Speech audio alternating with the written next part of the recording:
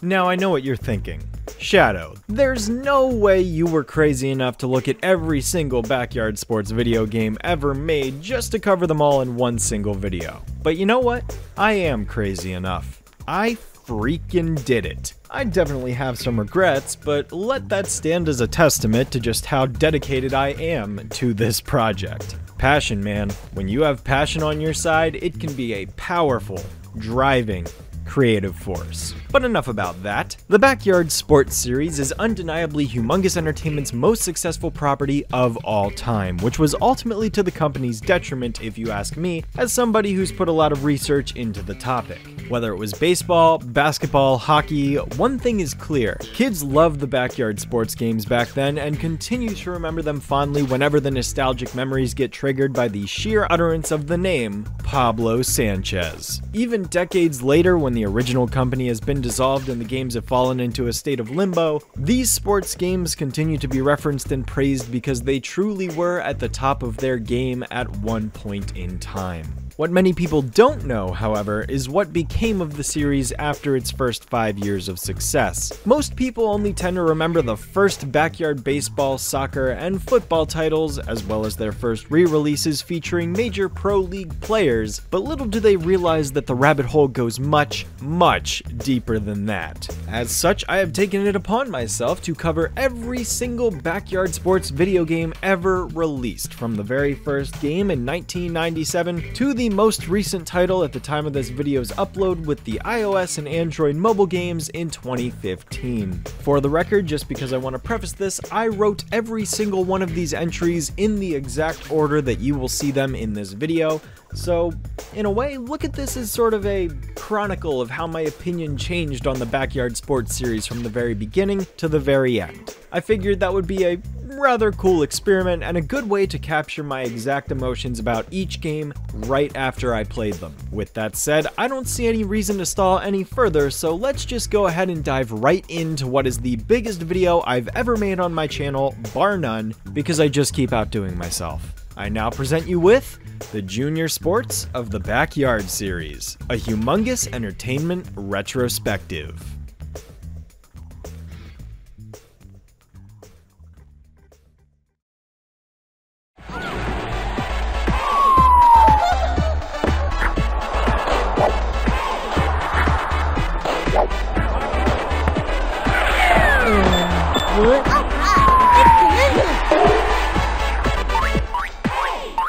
So back in 1997, arguably the peak year for Humongous Entertainment as a whole, the company decided to introduce three new IPs to the public. The first was Spy Fox, the fourth and final junior adventure series that the company would ever create. The second was Big Thinkers, a mediocre edutainment title that leaned a bit too heavy into the boring educational side of things if you ask me. And the third was a game that while initially experiencing a mixed reception upon its release, eventually became the company's most profitable line of children's games they would ever truly make. Backyard Baseball. Backyard Baseball was an idea originating from illustrator Nick Merkovich, who gave the pitch to Humongous co-founder Ron Gilbert somewhere in 1994 if I had to estimate based on what I've read, where it sat undeveloped for nearly a year. He thought of the idea because he noticed sports were a thing that kids played quite frequently, and yet there didn't seem to be any actual computer games that revolved around kids playing sports, so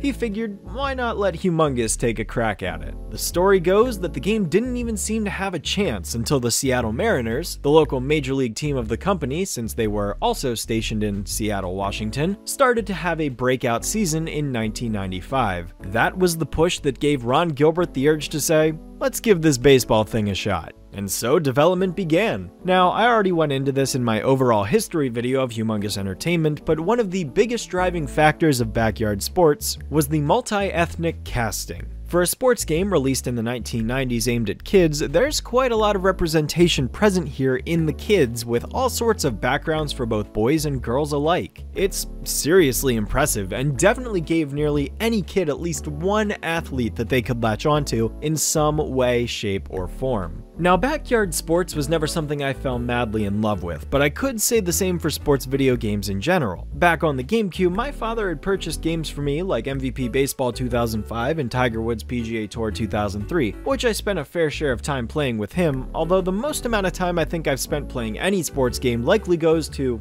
well, MLB The Show 2009 on the PlayStation 3. Once again, a game bought by my father which he hardly ever played and instead went to me. This was the year after the Phillies had won the World Series, and growing up in a Philadelphia fan household meant that that was the best year of my father's life since 1983, the last time any of the four major Philadelphia sports teams had won their sports championship at the time. Of course, as you can imagine, 2018 was another one of those big years. My point in bringing this up is that I do have a pretty solid familiarity with sports, with baseball and football being my two favorites. Professionally, that is. In terms of recreation, nothing beats running. I don't follow them religiously and know every single team's roster of every year, but I know the rules of the games and have a solid foundation of which teams are typically good, who a lot of the pro athletes are, and I'd say I'm pretty confident talking about these games because I know what they're based on. Now, I never owned backyard baseball. In fact, I never owned any backyard sports games except for one that I'll be getting to at some point in this video. Go ahead and place your bets now as to which one it might be. But I was very aware that it existed as a kid because this two minute backyard baseball video was included with like every single humongous game that was ever released. It certainly made me want to play the game, but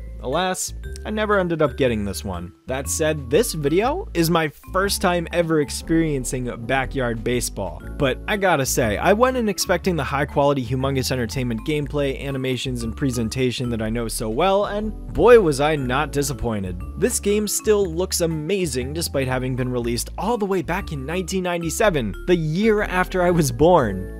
That's crazy. Graphically speaking, the animation is surprisingly detailed, especially given how many characters are present on this roster. I know I already commented on the diversity of the cast, but even looking at this from an animation standpoint, something like this is a huge undertaking. It's not like a yearly sports game where you can take a generic 3D human model and then just adjust the height, weight, skin tone, build, etc. with ease. No, every single one of these characters has a different design with different personalities and customized animations pertaining specifically to them for the bench, batting, pitching, stat profiles, the whole shebang. If you know anything about animation, you know that it is a lot of hard work to pull something like that off, especially back in the 1990s when hand-drawn animation was the primary method used to create these games. Having to come up with 30 individual character designs, each with their own distinct traits and idle animations, draw them out by hand and scan them into the computer, then digitally ink and paint them, it's an incredible feat, and it's a wonder that these games ever came out in the first place. I know I could certainly never pull something like this off.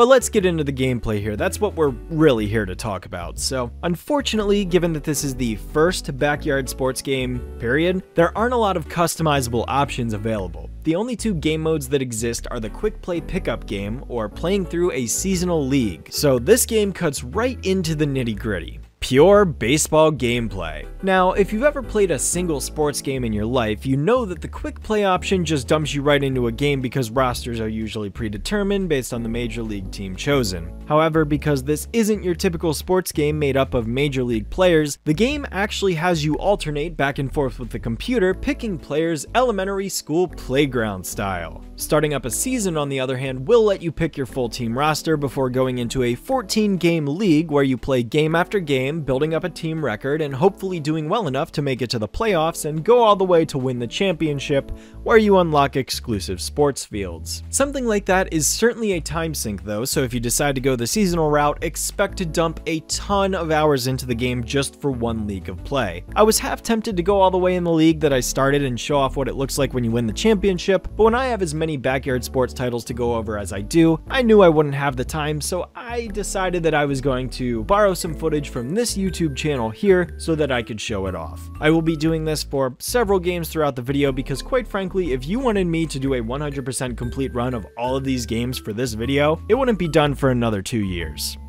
So, this here was my chosen roster for the season that I at least started. I decided to name my team the Humongous Rockets and chose the color purple as an homage to the developers of the game, and you better believe my first pick was the obvious choice, Pablo Sanchez. Pablo, as anyone would know, is the Christopher Robin of backyard sports. I mean, this kid literally has Secret Weapon as his nickname. How subtle. He is literally a deity in baseball kid form. As far as game options go, it actually gives a lot for the players to work with though. Games can be played over 6 or 9 innings, a T-ball option is available for younger players who may be having trouble timing their swings, and the pitch visibility can be adjusted, which I'll be getting to with the core gameplay mechanics. There are a few different difficulty modes as well, and a red tab that allows you to switch to either batting practice mode or a spectator mode where the computer plays for both teams and you can just kick back and watch the game. Backyard Baseball comes with a few different sound settings and let me just say right now, turn the chatter off.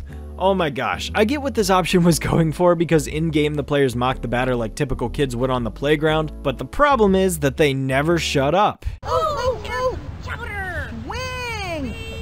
Whoopity sorry. Not a broken ladder. Hey, batter, batter, batter. Ole! Oro!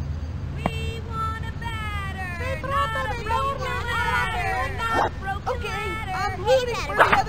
It's cute for all of 10 seconds before you just get tired of hearing the same lines over and over again cutting on top of each other. It's not even like there's a pause in between them. No, these kids just keep screaming over each other. Like, I just can't. Turn off the chatter. You'll thank me later. And you know it's bad when the cutting room floor's opening paragraph on this game's page is mocking this exact problem. But Backyard Baseball also comes with a feature that introduces another one of its stapled characters in the form of its sports commentators. Let's get the party started. It's time to get down with your favorite baseball players. I'm Sunny Day, and together with my pal, Vinny the Gooch, Uh-oh.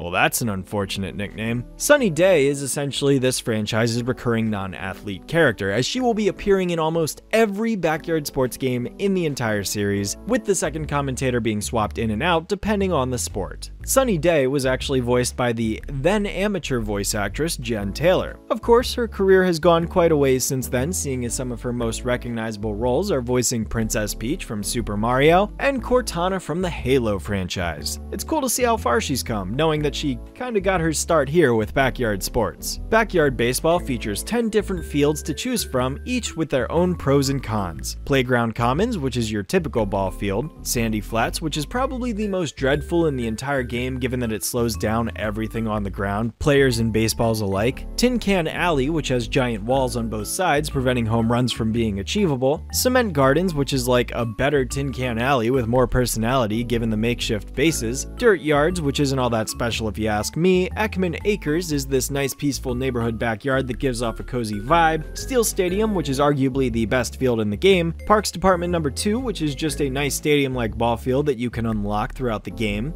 and then the two other unlockable fields in the form of the Big City Stadium and the Super Colossal Dome, which are obtained once you make it to the playoffs and final championship, respectively. Speaking of unlockables, there's also an unlockable character hidden in the game, coming in the form of none other than Mr. Clanky, who can be unlocked by holding shift and clicking on the little icon of him on the menu screen. He is of course only selectable in single play mode, but even still it's cool that there's actually a hidden character in the game. And he's a recurring one at that, meaning he will be returning in several future games as we'll be seeing throughout this retrospective. Apologies if it feels like I just spent a good chunk of time going over what was essentially the options menu, but here's the thing. 99% of sports games play the same exact way, and as we go along, you'll start to see that Backyard Sports is no exception. So, I primarily want to highlight the differences where they exist to demonstrate what sets these games apart from the rest, because at the end of the day, a baseball video game is most likely gonna play like baseball, and that's hardly going to change. It's the other elements surrounding it that gives each game the potential for a distinguishable personality.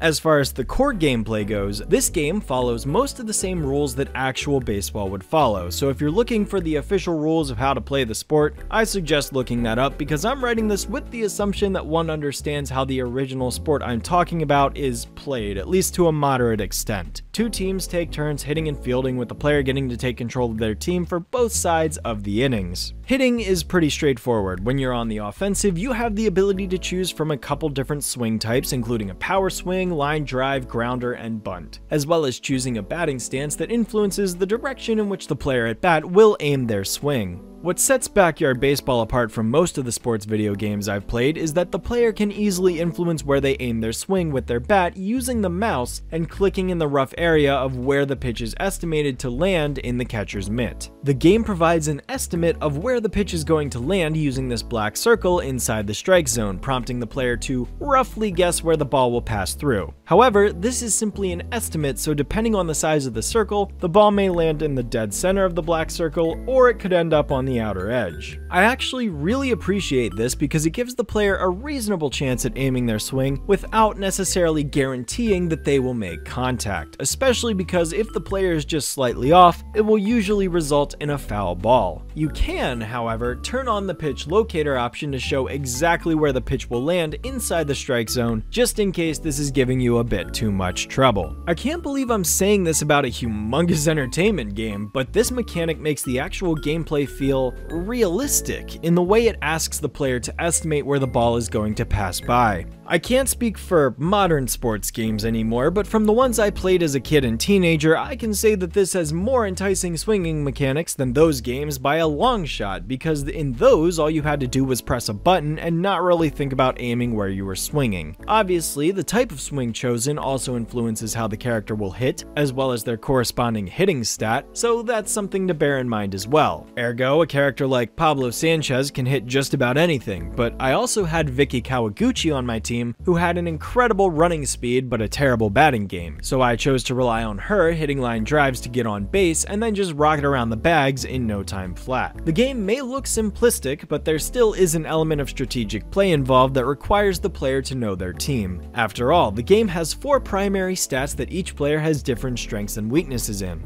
pitching, hitting, fielding, and running. Keep that in mind because you will want to play your team accordingly to capitalize on each player's strengths as much as possible. Obviously, an athlete with a low pitching stat should never appear on the mound, whereas a character with a maximum hitting stat is the one you're going to want to take power swings with wherever possible. Conveniently, the player can pause the game at any time and look at their team's stats, so the game is generous enough to provide that option for those that are still learning each character's skill traits. Once the player gets a hit, the camera cuts to this overhead view of the field as each of the players appear in a digital sprite form in their respective fielding positions. Controlling the runners is as simple as clicking on the next base in their line of sight and letting the game take it from there. Fielding, on the other hand, requires the player to run wherever the ball is headed and click on the field in the respective position. Then, of course, throwing the ball requires the player to click on the respective teammate that's meant to receive it. There is an element of errors present in the game that I never personally experienced too much, although the computer sure did. Whatever. Let's go! Oh no. I'm pretty confident that the likelihood of error is based upon a player's fielding stats, so the higher that that is, the better off they will be. I think. That of course brings us to the final gameplay element I have yet to discuss, pitching. For my starting pitcher, I chose Kenny Kawaguchi because Kenny has always been one of my favorite characters in backyard sports. Him and Ahmed Khan go hand in hand as my two usual favorites. Well, and Pablo, of course. Pitching is relatively easy to pull off as well here. It's as simple as choosing the pitch type and aiming in the strike zone wherever you wish it to land. Just keep in mind that that black circle area is still in effect for your team as well, so there may be instances where the player ends up throwing a ball despite most of the circle appearing in the strike zone. There are different pitching types available which can influence the way in which a pitch is thrown, both the direction and speed, and power-up pitches can also be unlocked by pitching well and throwing strikeouts, granting you access to things like the elevator pitch which causes the ball to fluctuate up and down, or the meteor pitch which just rockets right by the batter. There's quite a lot of cartoony options available here, but one thing to keep in mind is the juice meter located on the right hand side, which shows how much, well, juice the pitcher still has left in them. Special pitches do come with the drawback of draining more juice than a regular pitch. However, juice can also be recovered occasionally when the cooler icon makes itself apparent, as well as in between innings. If the pitcher's juice gets too low, a new player will need to be swapped in to substitute for them, so I recommend having a couple good pitcher characters on your your team at any given time. I'd recommend going for three at least, just to be safe. And yeah, that just about sums up the pitching mechanics in a nutshell, so honestly, there's not much more to add beyond that. Backyard Baseball is a fun, simple, cartoony PC baseball game from the 1990s that has aged exceptionally well and still holds up to this very day. One of the aiding factors of this is that while some professional players are mentioned in passing dialogue, they aren't playable in this game, so the roster of players never feels outdated because this is a wholly original cast of characters made for this title specifically. That is a huge distinguishing factor that sets it apart from so many other successful sports games out there and definitely deserves to be recognized for that. Unfortunately, there is no real story mode or optional side modes here. It literally is just playing games of baseball or batting practice, I guess, if you choose that in the options menu, but aside from that, I've covered backyard baseball pretty succinctly, I'd say. I still recommend checking out the original game as it is quite a fun time from start to finish, and definitely a testament to Humongous Entertainment's versatility when it came to game development. It's shocking that the game didn't perform that well upon its first release, and that it took until the next upcoming sports game before the series really took off. Adventure games, arcade games, and sports games? Yeah, back then, this software company was a force to be reckoned with. Take a swing, why don't you? Become center. The pitch. Send him back The to swing. Be bunted. Ooh, Hey kid, ooh. You're all right, you know. Got it. Throws it to first. Out. Oh, oh. That throw is a hopper. Zinger to third. Safe at oh, third. Oh, Chucks it to third. He just dropped it. Sometimes he just can't hang on to that ball. Here's the throw home. And over to third. Oh. There's no way you'll be able to catch that. Good job. Throws it over. This one's gonna get over his head. Did he just drop the ball? And over to third. Did he just drop the ball? Way to Sometimes go, he just can't hang on to that ball. Now that's what I call togetherness. Ooh, ooh. That could have been epic, but it wasn't.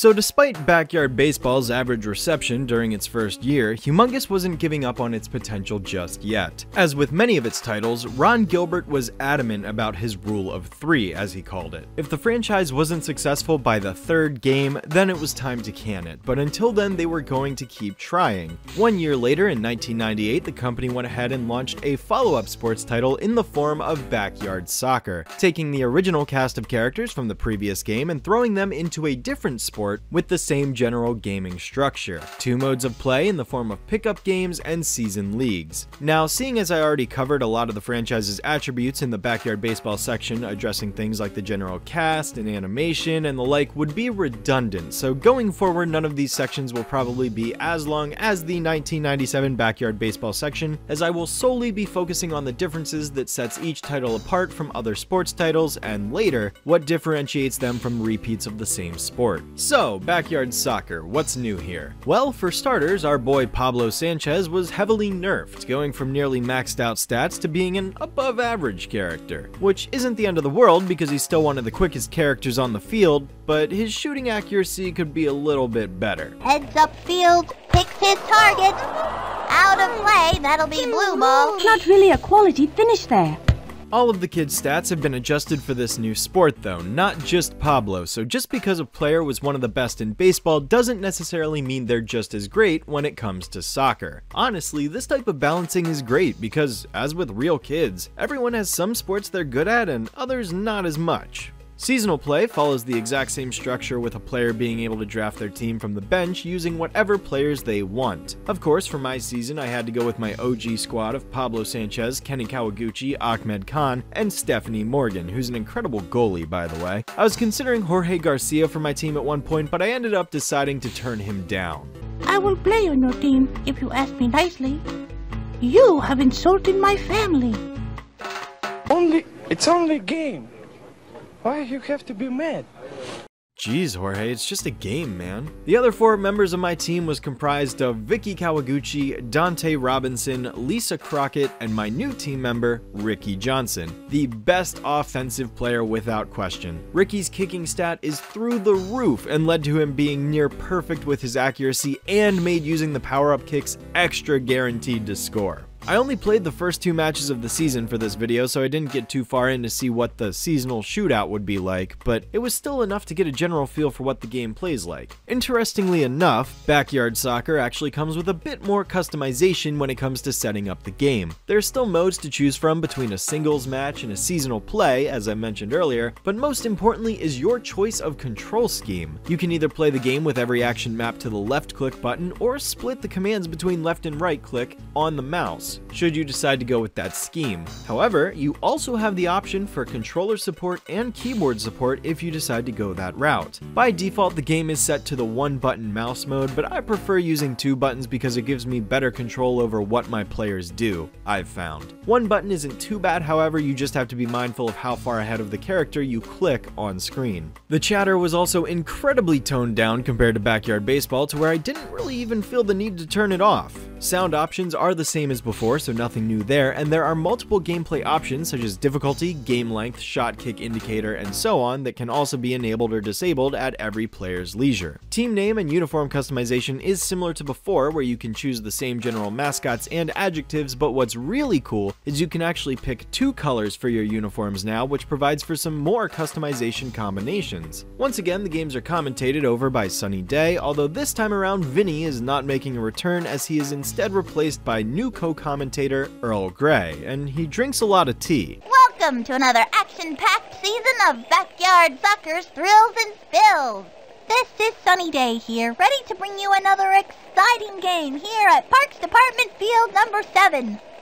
Joining me is my esteemed colleague from across the pond, Earl Grey. Get it? Cause he's Brit? Yes, Sunny and Earl provide commentary over the games, which is nice to listen to while you run around the field chasing after this darn soccer ball for however long you need to. The game obviously operates on actual soccer rules and even includes penalties such as offsides and tackling, which I think is a partially random element that I didn't feel like I had a lot of control over. There were times when players would just steal the ball no problem, but other times they would go in for a sliding tackle and I don't really know what triggered it. Oh, and Mr. Clanky returns once again as the referee for this game, so that's pretty neat. Would have been cool if he was seen on the sidelines of the field or something like that, where he was monitoring the game, but oh well, no harm, no foul. Speaking of fields, though, Backyard Soccer does repeat the same seven default environments that existed in Backyard Baseball, and introduces an eighth stadium on top of that as well. A fully indoor field with glass walls on the sides to prevent the ball from ever going out of bounds named The Vacant Warehouse. I really like the aesthetic of this one, and I'm really glad they introduced it for this game. The entire concept of an indoor field where there's no out of bounds really keeps the game constantly moving and prevents the pace from being broken up. Of course, there are extra hidden fields in this game too, although this time around there are actually a lot of them because they are mostly the home of teams that you end up playing against in seasonal play once you make it out of the first division. They're cool, but they're largely just reskins of the same field over and over again rather than wholly unique, but regardless, there is also the Championship Stadium, which is another one of those walled-in fields. So again,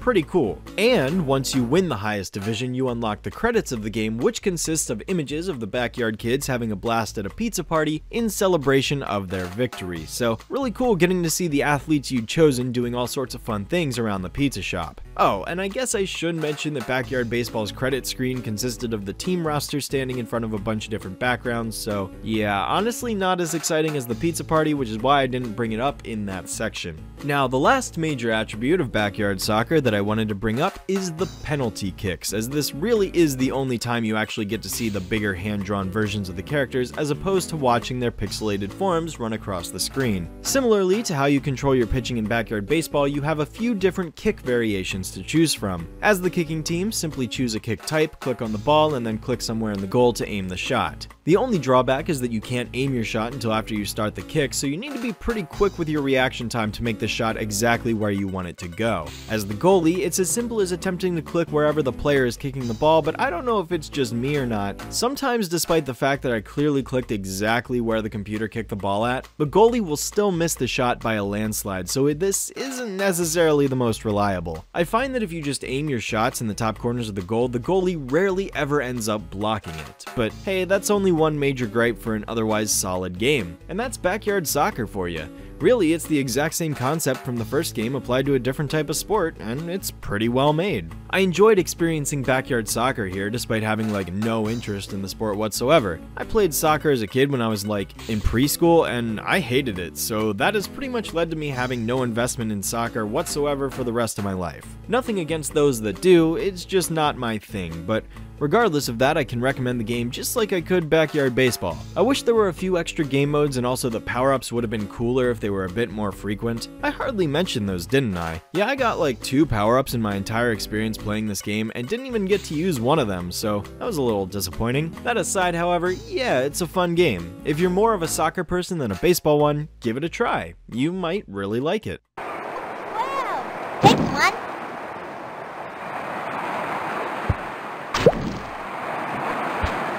Manages to keep it in play. Takes it! That's one, but a good one.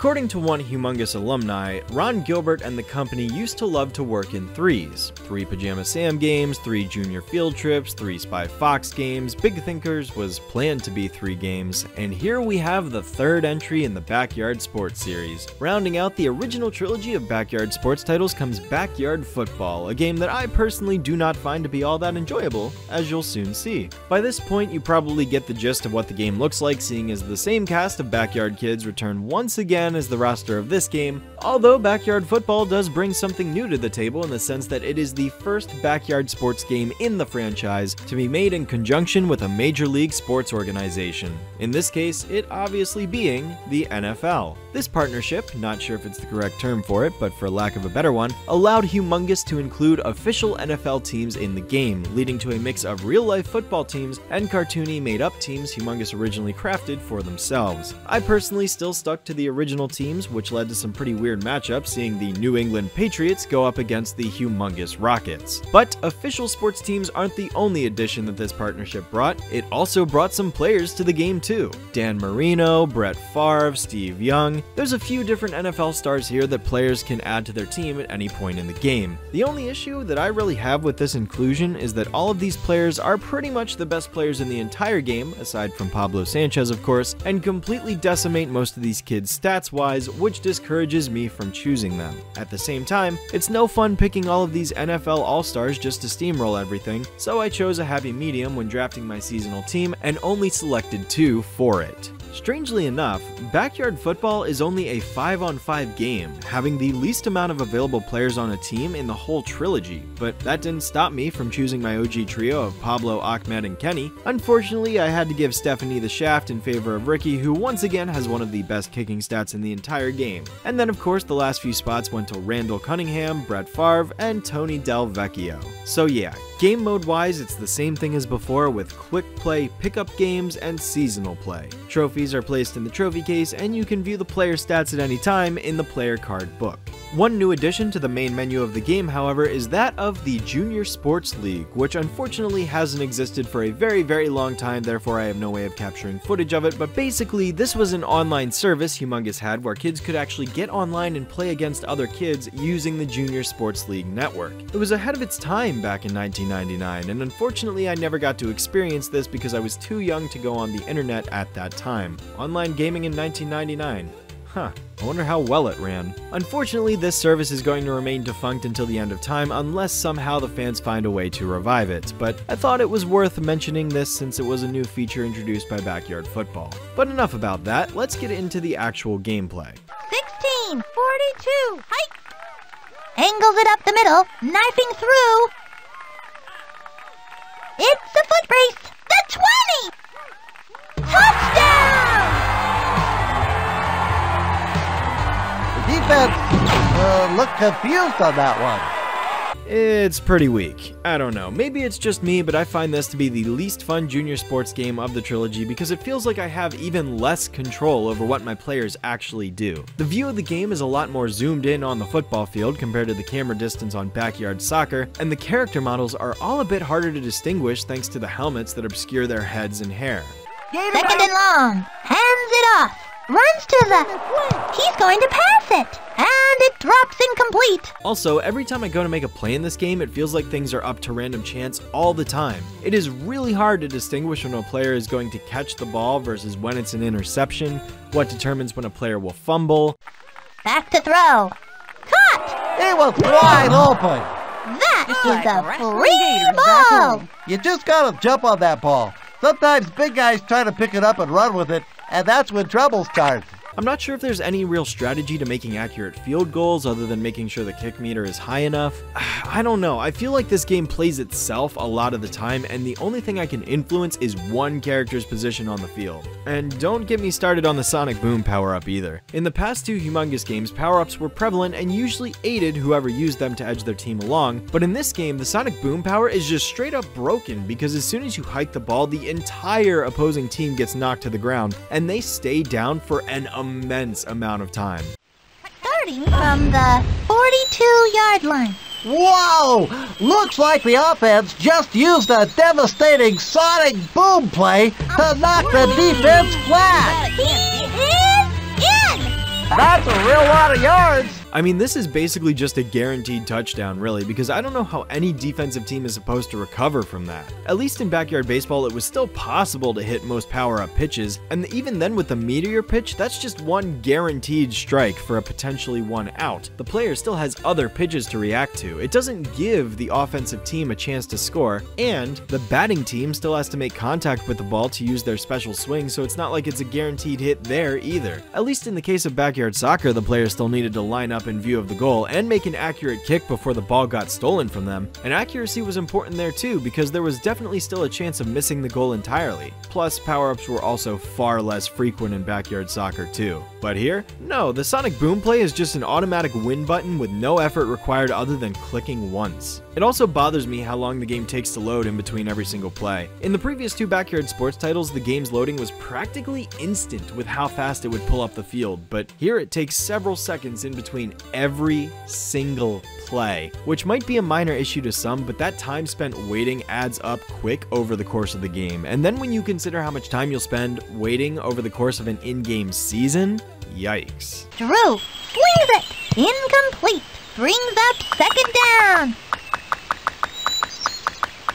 I'm not sure why this happens, but I'm not a fan of it. It just causes the game to drag out longer than it already does. That's not to say this game is outright bad.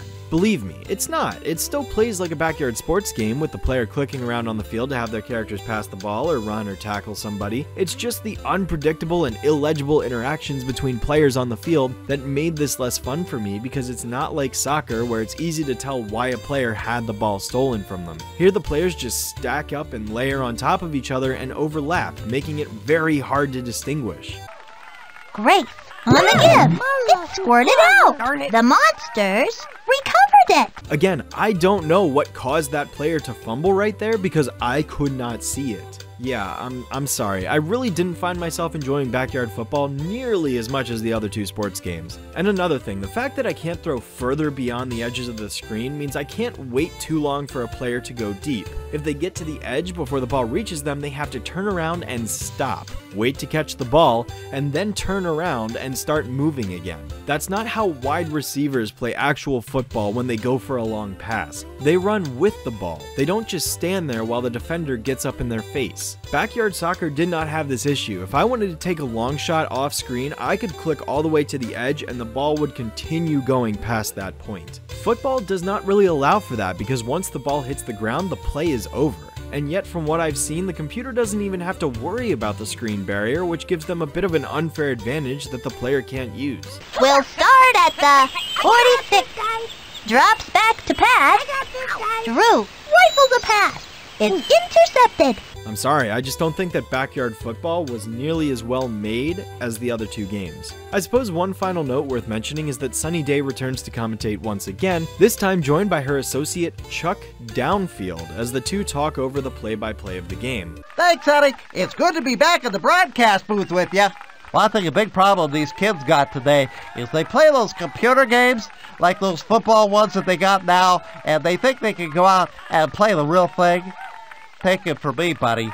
The backyard football is nothing like some little computer game.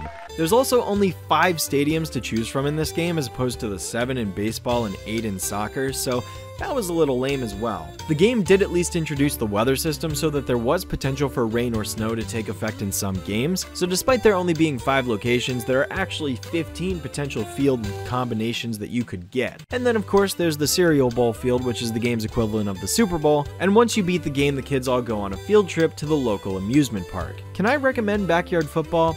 Well, I guess, but only if you're a football fan because this game just isn't nearly as player friendly as baseball or soccer, at least in my experience. They're going to let this one bounce. Receives it at the 11. Let go of it.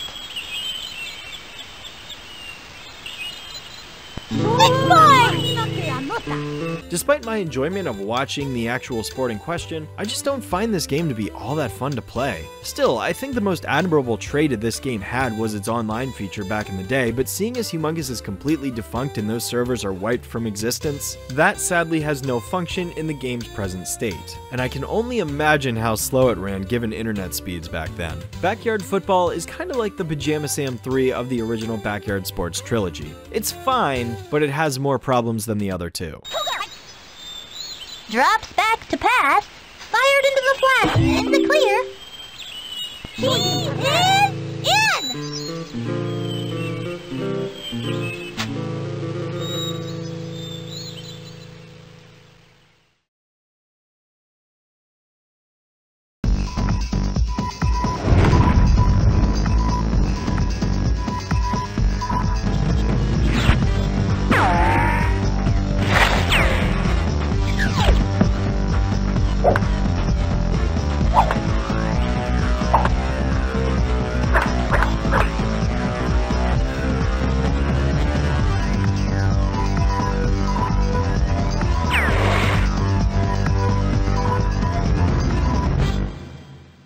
Follow Following the release of Backyard Football and completion of the trilogy of sports games, Humongous had realized they had something good going for them here as the Backyard Sports franchise as a whole was gaining a lot of traction as more and more consumers started purchasing these three games going into the new millennium. We are also beyond the point in time that GT Interactive went out of business and Infogrames decided to come swooping in to pick up whatever pieces they could, with Backyard Sports in particular on their radar. Little did Humongous know at that point in their initial three sports games made out of love and creativity would end up becoming their parent company's cash cow for the next 10 years. But before we head into the darker territory, we've got some re-releases to talk about first. Seeing as all three of these titles are essentially just updated versions of the games that I had already talked about, I'm grouping all of them into the same section together just to go over the basic changes between them and their original counterparts. So starting with Backyard Baseball 2001, and this one probably had the most updates out of all three games. The same general gameplay remains the same as before, but the overall look and visuals have been improved in a lot of places, specifically the menus and fielding gameplay. A new user interface is present here when it comes to accessing the game's settings, roster, statistics, and so on by taking this manila folder appearance, while the player's bio cards have also received a bit of an update as 3D graphics have started to become prevalent. One thing you'll notice about the general gameplay of Backyard Baseball 2001 is that whenever perspective switches from the batting view to the fielding view, all of the characters have received updated models that are no longer in the form of 2D sprites, but rather compressed 3D models that roam around the field. Of course, controls function the exact same way they did in the original, with each player going up to bat and having different swing options available to choose from while the pitcher can throw the ball using a variety of different pitch types to try and fake out the batter. The batter's box, ball reticle, and user interface have also received a makeover, but a lot of the Backyard Sports kids retain the same exact animations they had as before. Instead, the animation budget was put towards the newcomers to the Backyard Sports series here in this game, professional Major League Baseball athletes that were popular around that point in time. Ken Griffey Jr., Curt Schilling, Barry Bonds, Mark McGwire. Wow, these are names I haven't thought about in a long time. But yeah, taking a page out of Backyard Football resulted in getting to use official professional athletes in their humble point and click sports game, which was a really big deal given Humongous at one point was just a small handful of like a dozen people making a game about a talking purple car going to a parade. Oh, how far the company has come. Unfortunately, however, because of this integration between real-world players and the backyard sports kids, the actual athletes outshine like 80% of the kids thanks to their far superior stats. Hi. Of course you want me on your team. Who wouldn't?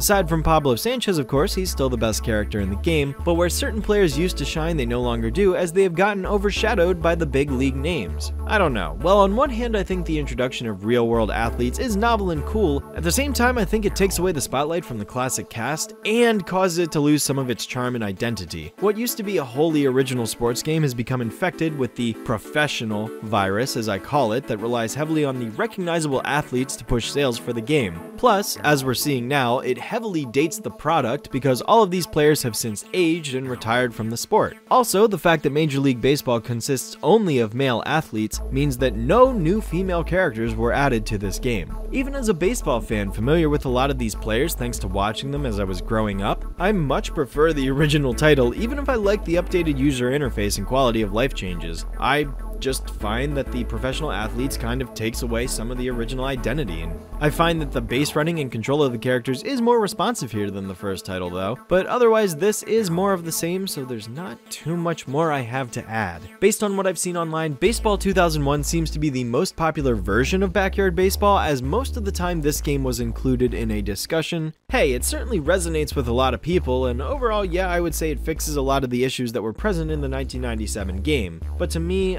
the inclusion of the pros just overshadows everything else. Now, as for backyard soccer,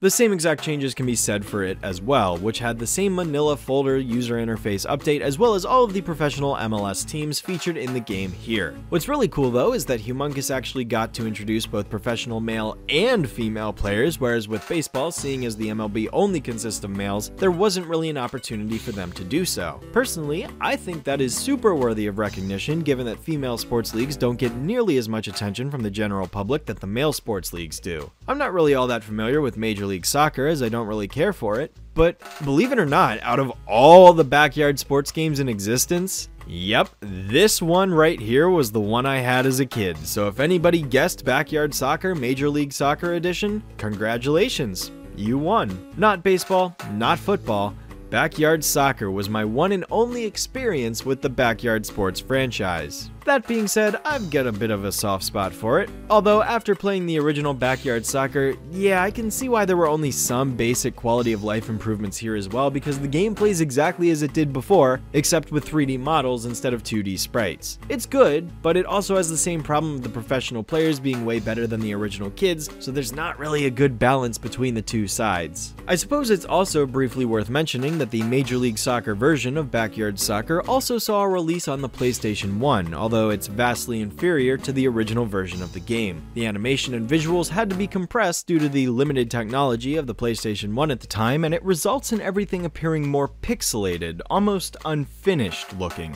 Looks like Pajama Sam 3 wasn't the only humongous game to be ported from PC to console, although this is the only other game in which this has happened, so it was still a pretty rare occurrence. This port was actually done by Runecraft, not Humongous themselves, and it's a pretty lukewarm job at best if I'm being honest. In theory, it should play exactly like how it does on PC, except instead of having the option to use a mouse or keyboard, you are forced to use a controller in which each of the face buttons performs a different action. Unfortunately though, presentation-wise, it's pretty unappealing to look at. The load times are PS1 load times, which means it takes quite a bit of time to get started. Sunny Day and Earl Grey's animations are also reduced, and the user interface is very unappealing to look at both in the menus and the game itself. It also chugs to make matters worse. Yeah, honestly, do yourself a favor and just avoid this version of the game. Playing it on PC will always be a more satisfying experience for you. Take my word for it.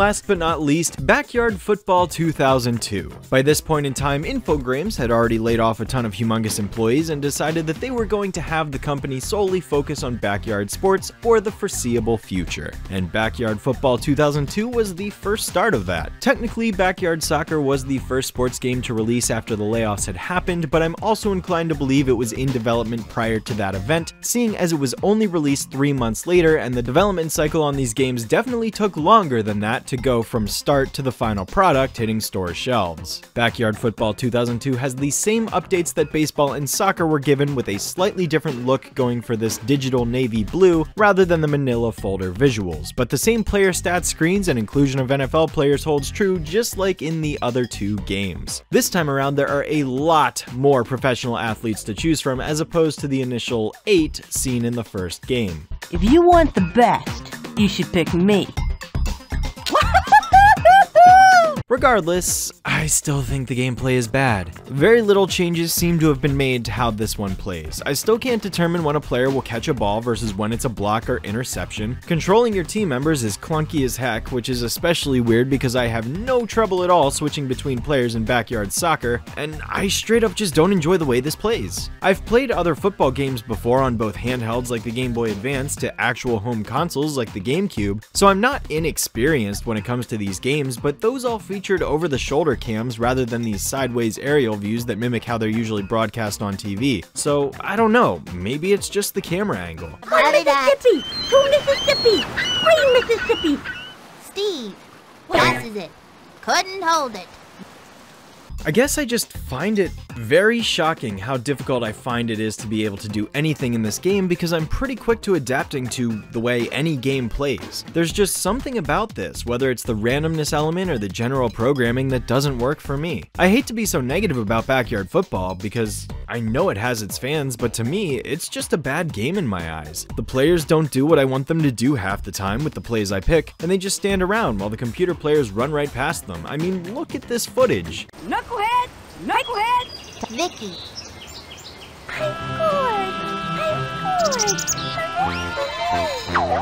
Why didn't she run after the person with the ball? She could have tackled them easily and prevented a touchdown, but instead she just stood there. I didn't control that, I had no say in that. Backyard soccer doesn't have this problem. When someone has the ball, the computer controls your other team members and moves one of them closer to the player that has the ball so that they can attempt to block or steal a shot, or let the player switch to them so they can do that themselves. Why doesn't football do the same thing? Maybe I've just been unlucky and had bad experiences playing this, but it's happened in both versions of the game while I was recording footage for this video, so I don't think it's a coincidence. I'm not trying to upset any backyard football fans out there, and if there are people that like these games, then good for them, but if I had to personally rate this, it would be the worst of the three sports games by at least two letter grades. Not a fan of it.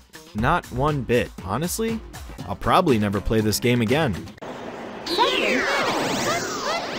You. Two Mississippi. I got three Mississippi. Dante. Guns it. The 20! He scored.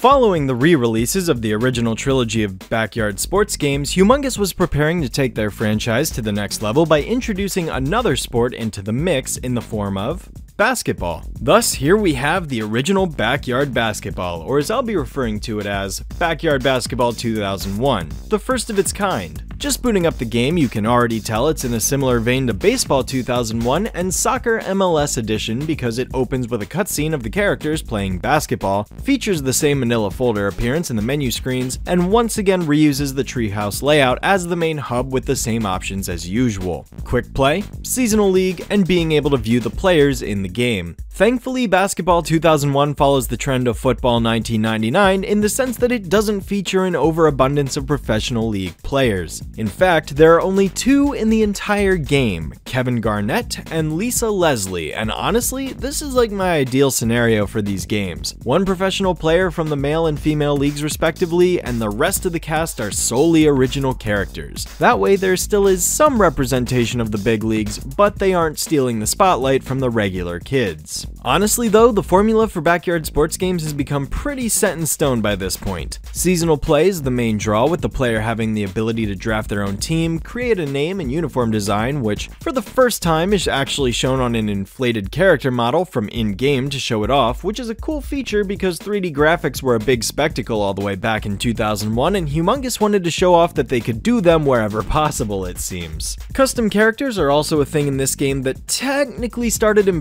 Baseball 2001, but this game allows you to have multiple original player characters, so I figured this is probably a good enough time to talk about it. Basically, if you want to use a personalized custom character, the game will randomize a design for you and give you a pool of stat points that you can distribute as you see fit. If you want a character who's great at shooting, you can max that stat out with ease at the cost of having lower stat distribution in the other fields. This feature gives the player a lot of options when it comes to designing a team, and having at least one custom character on your side might not necessarily be a bad idea. It could really save a team that has four great players but just can't seem to find the right fit for that fifth spot. Character customization is a common feature that will be appearing in future titles, but I won't really be going over it in every single game because a lot of them feel the same exact way, and it would just be redundant, kind of like the roster changes. As such, it is safe to assume that most of these games I'll be talking about has some level of character customization, but of course it can vary from game to game. This is Sunny Day, along with the legend in his own mind, Barry DJ.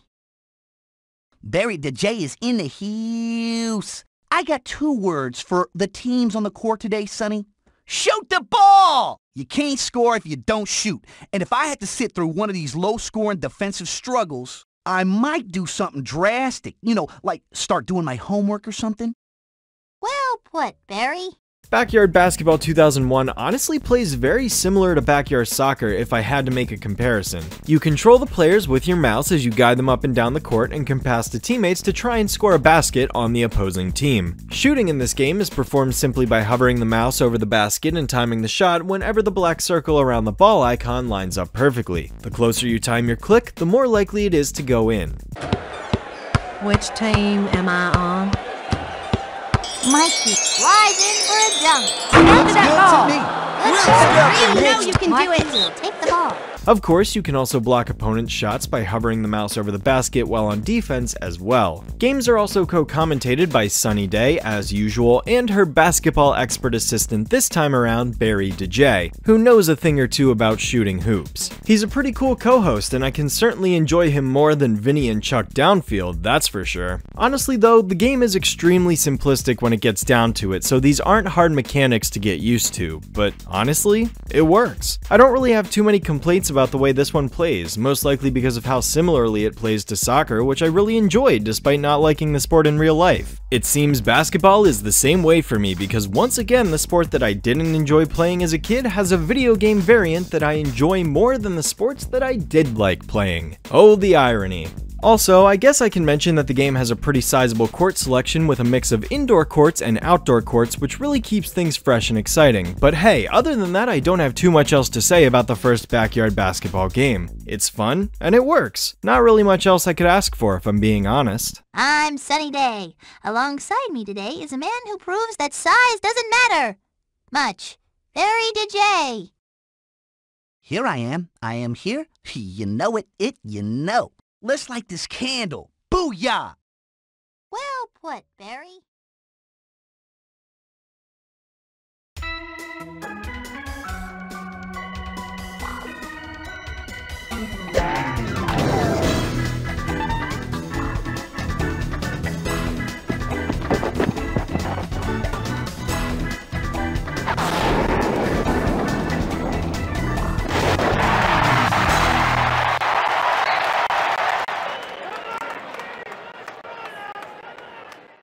Now get ready for me to start grouping a bunch of these games together, because if I didn't, this video would have like 50 different sections to it, and that's just too overwhelming for me to structure a project like this. Plus it's already as long as it is, so in cases like these where a game was released under the same or similar names on multiple consoles, then I will be lumping them together. In this case, it's Backyard Baseball 2003, released for both PC and Game Boy Advance. The Game Boy Advance version is the less complicated version of the two because it is more or less just a handheld translation of Backyard Baseball 2001 with an updated roster of MLB players. Otherwise, it honestly just feels like a translation of the previous title to the Game Boy Advance, complete with sprite animations and digitized backgrounds of the same fields that had originally existed. It doesn't do anything exciting to really expand on the series, and given that the game is limited to just six buttons and a D-pad, Game Brains had to take some liberties in order to make do. Oh, I forgot to mention that again. This game was not developed by Humongous Entertainment at all. It was actually a project Infogrames had assigned to a completely different studio while Humongous was working on the GameCube version of the game. As such, I will be mentioning who's developing each game if it's not by Humongous themselves going forwards, because from here on out, Humongous won't be the only devs creating the Backyard Sports games. I don't know that I can necessarily say this one was created by Game Brains though, because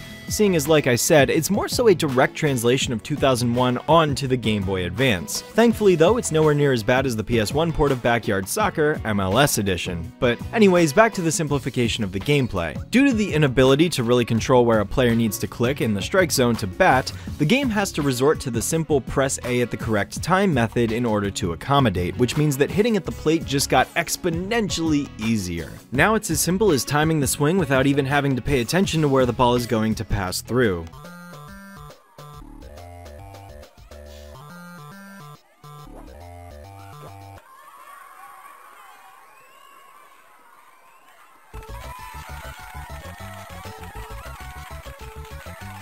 You'll remember I complimented the original game for having this mechanic in order to set itself apart from other console baseball games, so the removal of this feature just feels like a step backwards, but at the same time I understand why it was done because of the hardware limitations, so I don't really fault the game for this. The handheld version has the typical modes of seasonal play, quick games, home run derby, t-ball, etc., and the character roster is pretty much the same, so there's not much more to be said beyond that. I'll just establish this now that going forward as we get into more and more of these repeat sports games, I'm going to have less to say because I just don't want to repeat what I've already said about the previous entries, so from this point forward I will only mostly be acknowledging major differences as I see them. Otherwise, it's safe to assume that all of the other features remain relatively the same from game to game. Now, the PC version of Backyard Baseball 2003, on the other hand, well, it's just an updated version of 2001, which was already an updated version of 1997. In other words, there's hardly anything new here worth talking about aside from an updated player roster consisting of a few new athletes and some stat tweaks which aren't worth getting into. A slightly updated user interface in certain areas compared to before.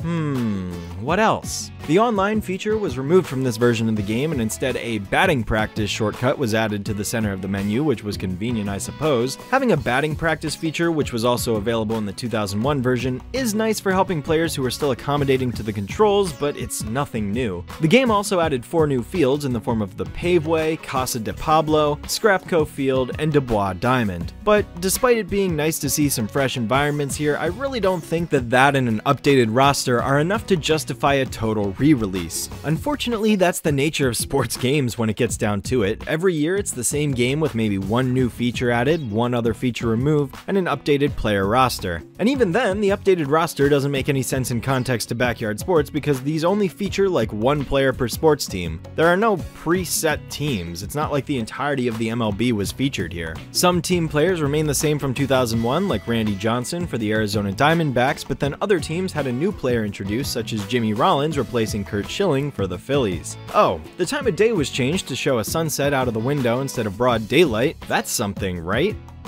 Eh? No?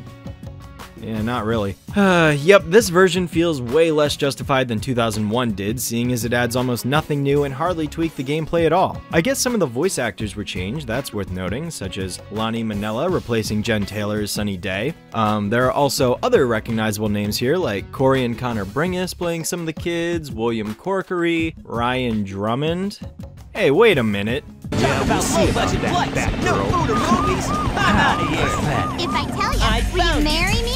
Faker, no way. I thought I had I think you this time. fake hedgehog around here. on the road. Hey, where are you going? What? What you see is what Revenge. you get. Just a guy who loves adventure. You're not even good enough I'll to make be you eat my those words. Close up. Let's get to work. What the heck is the Sonic Adventure 2 voice cast doing here? Okay, weird, but okay, sure. So I guess that's something cool. Backyard Baseball 2003 is voiced by the Sonic Adventure 2 voice cast. At least seeing Backyard Baseball in the GBA, mostly intact no less, was a novel thing to see in this section, but Backyard Baseball 2003 as a whole, well, I guess in retrospect it's probably better to play this than 2001 because it has more content, but back in the day when it was released, I would have just said keep playing 2001 because it's the same game with very minor changes. Really, it is just a matter of perspective. Don't have much more to add on this one though, that's about it.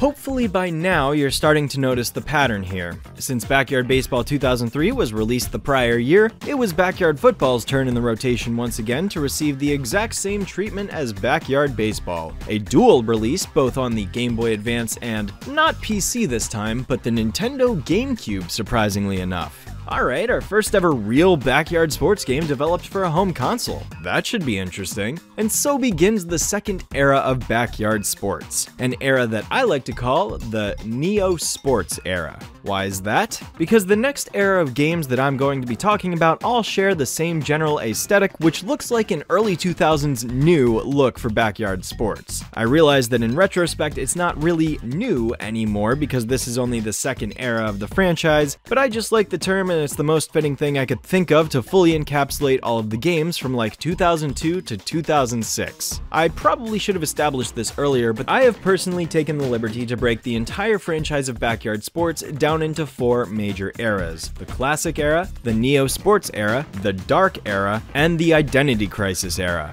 These are not official eras named by the people who own Backyard Sports. These are completely made up by me for myself to organize this video. So whether or not you also refer to them as such is completely up to you. I don't see anybody in the Backyard Sports fandom referring to these games in eras, so I don't really think there is an official general consensus that everyone agrees upon, but hey, if I can offer that, then let's go with it. So, let's address the handheld version of Backyard Football 2003 first, as I think this will be a quick one to get over with.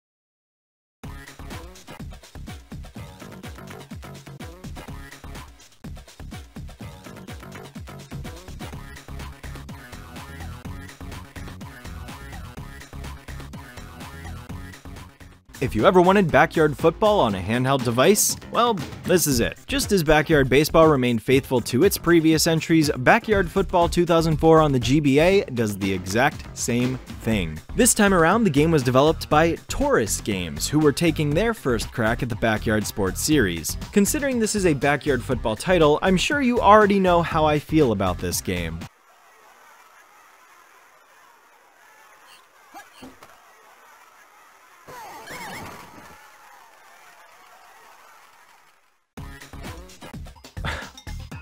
Wow, that was the very first play I made when I turned on this game. And in the trash it goes. Same top-down horizontal gameplay, same crummy AI. I don't know what it is, I have no trouble playing actual Madden games all the time. Heck, I literally had Madden NFL 2002 on the Game Boy Advance, and I would always dominate in that game. But when it comes to backyard sports, it just doesn't click with me. I mean, I clearly threw a direct pass straight to my receiver there, and he just didn't feel like catching it. Don't know why. He was clearly capable, he just didn't. Didn't feel like it. I think that the game does a fine job of replacing replacing the point and click mouse gameplay with a button mapping. Honestly, I think it's a bit easier to determine who to throw it to and the screen is tinier so your eyes don't have to move as far to see who's open. I also like that I don't have to worry about only being able to click so far on the edge of the screen because I can rely on a button press in case the player ever does make it past the boundary. But even still, I'd rather let this next clip explain my thoughts on how reliable I find the passing in this game to be.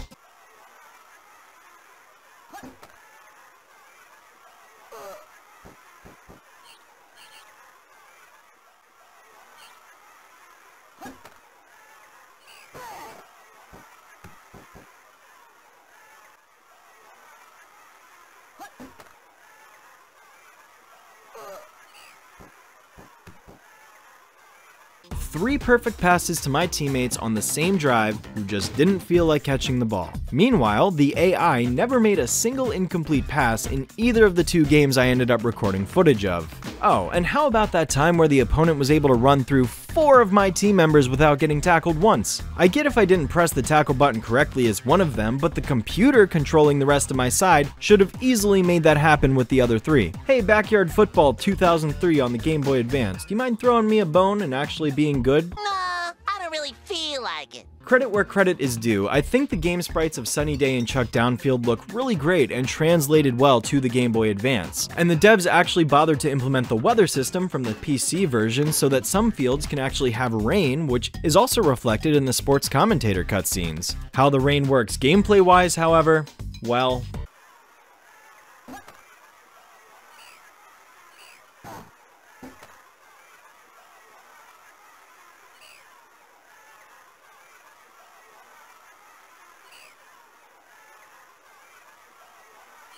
Riveting. Better in presentation than execution, that feature. Oh, there are power-ups in this game, by the way. There have been in every backyard sports game. Overall, I mean, it's backyard football on a handheld, so in that sense it's a success, but I don't know, man. I think this might be the worst one yet. I still haven't found a backyard football game that actually works for me. I'm writing each of these game entries in the order I play them as I said at the start of the video, so I haven't experienced the next game I'm about to talk to yet at the time I write these words, but hopefully I can find one that I genuinely find to be well programmed because I really do want to enjoy one of these football games the way that I do baseball and soccer. Can the GameCube version of backyard football be that saving grace I so desperately need?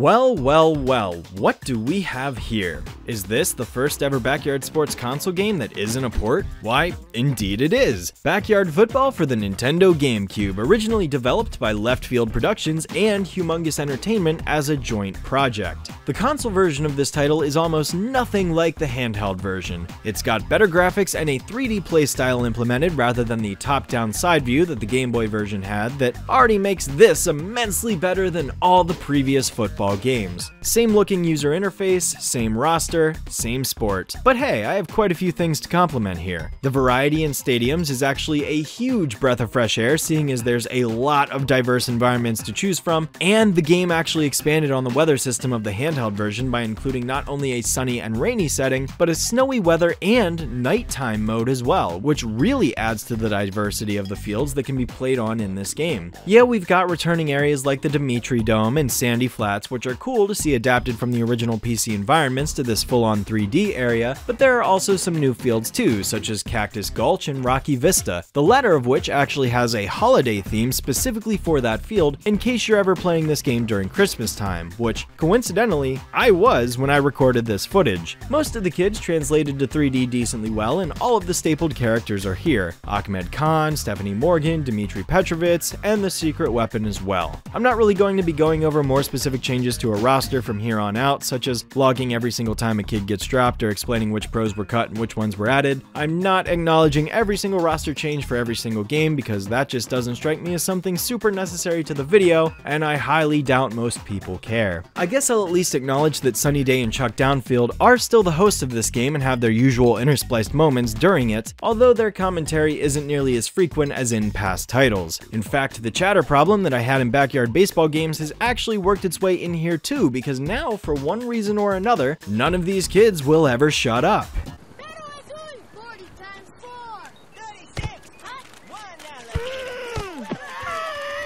I will say though that for the very first time, I finally found a backyard football game that works for me. Now don't get me wrong, there's still some ridiculously stupid AI shenanigans going on here and there.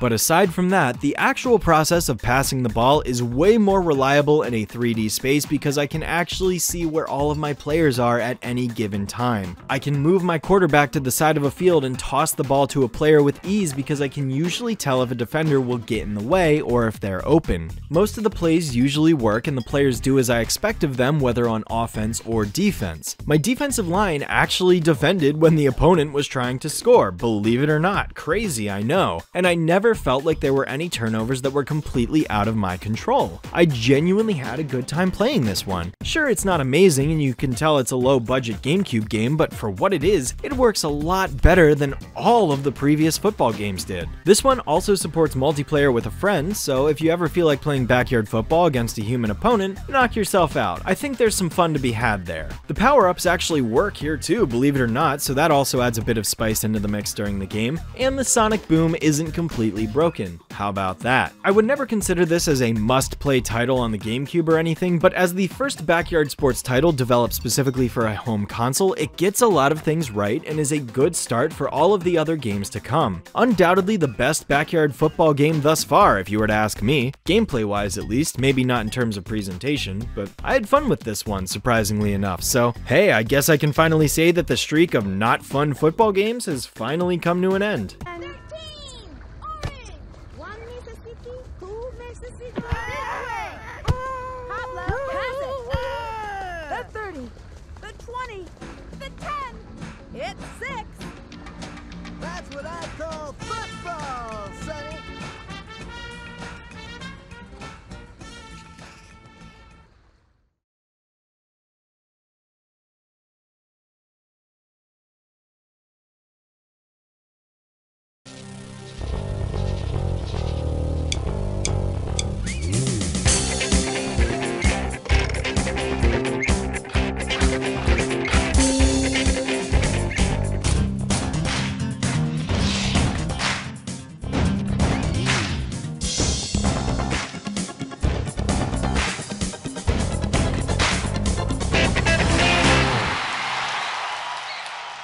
While Humongous was being made to essentially continue recreating the same couple of games over and over and over again as dictated by their evil corporate overlords, they were still given a few opportunities to expand their reach by creating backyard sports games for new sports as well. Backyard Basketball was the first new sports game amidst this sea of mostly baseball, soccer, and football, and now hockey was getting thrown into the mix too. I will say, hockey is a sport that I'm not really all that into, but I like it more than soccer and basketball. I've got enough of of a sense for how the sport works, but I don't really go out of my way to watch it even on an irregular basis. Still, backyard hockey makes perfect sense as an addition to the franchise, and releasing it in October was perfect timing back then in anticipation for that year's upcoming season. It's got the standard formula you'd expect from a backyard sports game by this point. It's a mishmash of original characters combined with some NHL All-Stars at the time and features all of the iconic teams in the league. Once again, the same aesthetic is used for the menu screen to indicate that, yes, we are fully committed to the Neo Sports era here. Personally speaking, I'm not really a fan of this design. Sure, it's functional, but it's also incredibly boring compared to the Treehouse menu screen. Backyard Hockey 2003 could have continued the trend of using the Treehouse menu screen, or heck even use a brand new setting as the main menu that displayed all of the options because, admittedly, the Treehouse environment was getting recycled over and over again, most likely to cut costs, and was getting rather uninspired to look at by this point. But a new menu in a similar style using, well, I don't know, maybe a locker room setting would have been a perfect substitute to mix things up.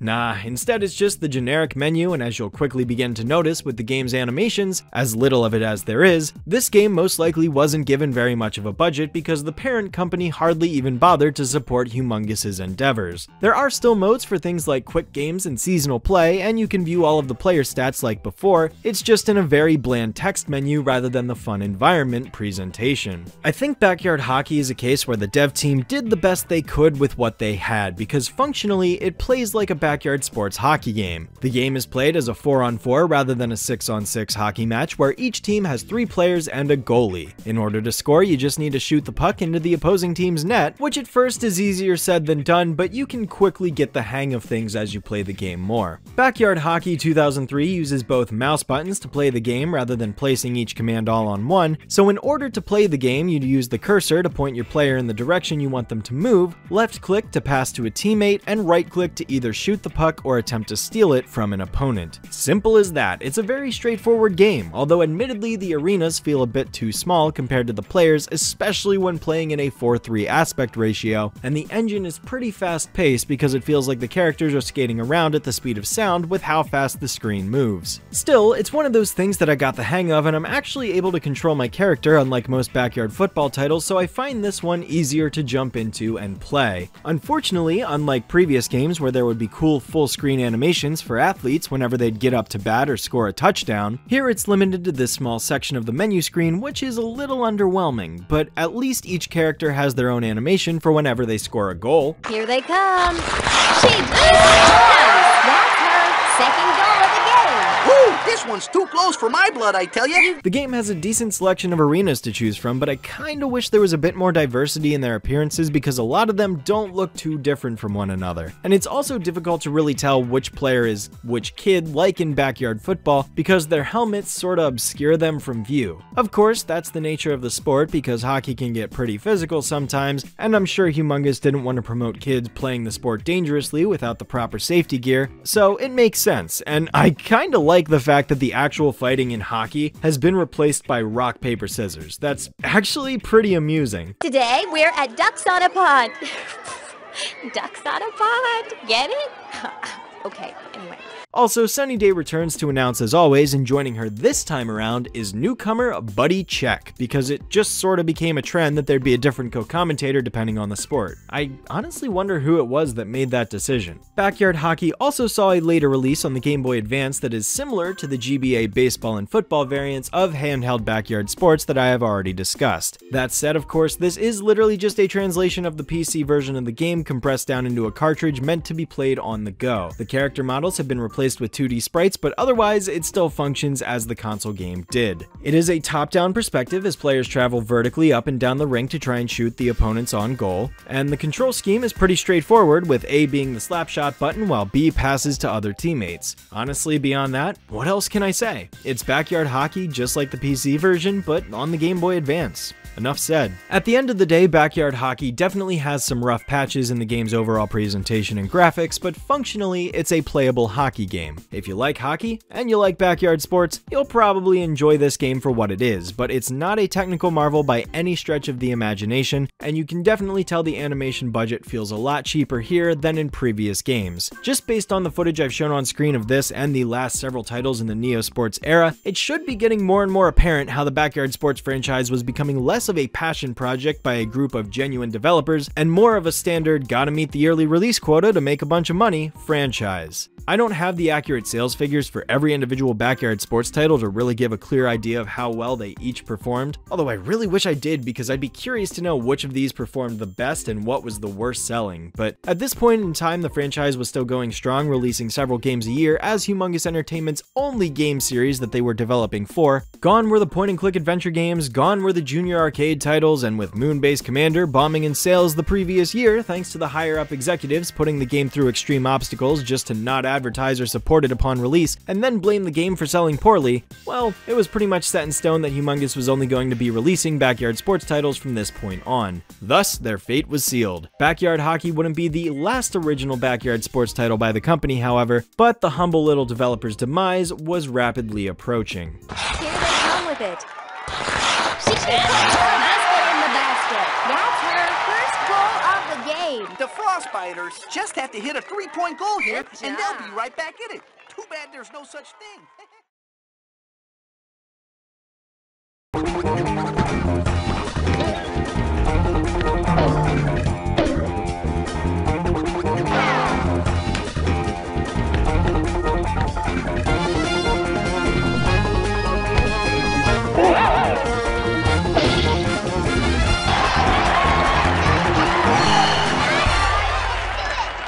Alright, considering that we've been over this song and dance twice before, I'm just gonna keep this brief. Remember every change I pointed out for Backyard Baseball 2003? Yeah, take the exact same changes and apply them to Backyard Soccer, and that's Backyard Soccer 2004 in a nutshell. The game keeps the exact same gameplay as before with an updated character roster including some new soccer players and stat adjustments. Four new playing fields including Kamehameha Cove, Adobe Flats, Crane Construction, and a farm with a name that, similar to Vinny, was chosen prior prior to the internet coining a term for it that leads to some very unfortunate implications. Good thing Soccer 2004 tends to be overlooked. A penalty kick practice mode shortcut is available right on the main hub screen where you can take shots at Mr. Clanky, so that's fun I guess. It replaces the batting practice mode from Baseball 2003. And the background behind Sunny Day and Earl Grey changes depending on what field you're playing on now. The voices of this game have also been changed to the Sonic Adventure 2 voice cast, but I figured that was already assumed since, you know, this is by the same team that did Baseball 2003. Otherwise, it's the exact same game as Backyard Soccer MLS Edition, so while I'd argue this is the definitive version of Backyard Soccer to play because it has the most content nowadays, it wasn't much of a justified release back in the day. Here's a shot.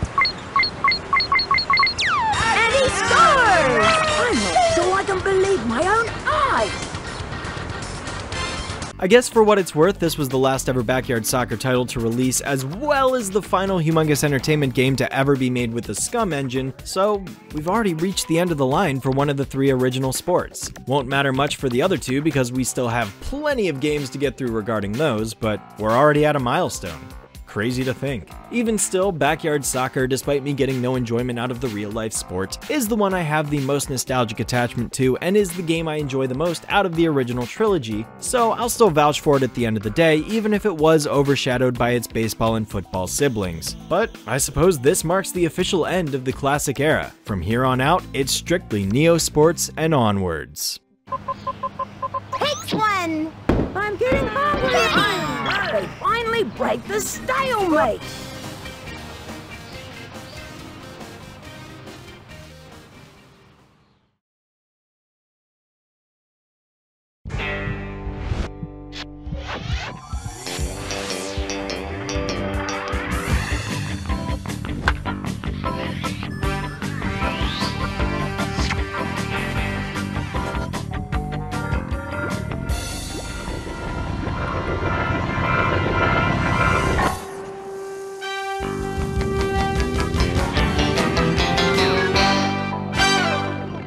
Backyard Football wasn't the only sports game to make its way onto the Nintendo GameCube. Lo and behold, baseball was right there after it just one year later in 2003. Backyard Baseball 2004 is pretty much exactly what you would expect as the baseball equivalent to the GameCube version of football. Similar menu UI, same character models, and it's just a 3D translation of the games from the prior PC versions. Players can still choose their pitch types based on the four face buttons available when fielding, and choose their swings when batting. Similar roster as before with a few players added and removed for the New Year's season, and lots of new fields to choose from between the Boardwalk, Gator Flats, which is kind of like a swampy area, the Desert Buttes. I really dig the field diversity here. In fact, there isn't a single repeated field location from Backyard Football 2004. Every single one of these is brand new, made specifically for this game, with the exception of Steel Stadium from the OG Backyard Baseball game. Hiya, folks!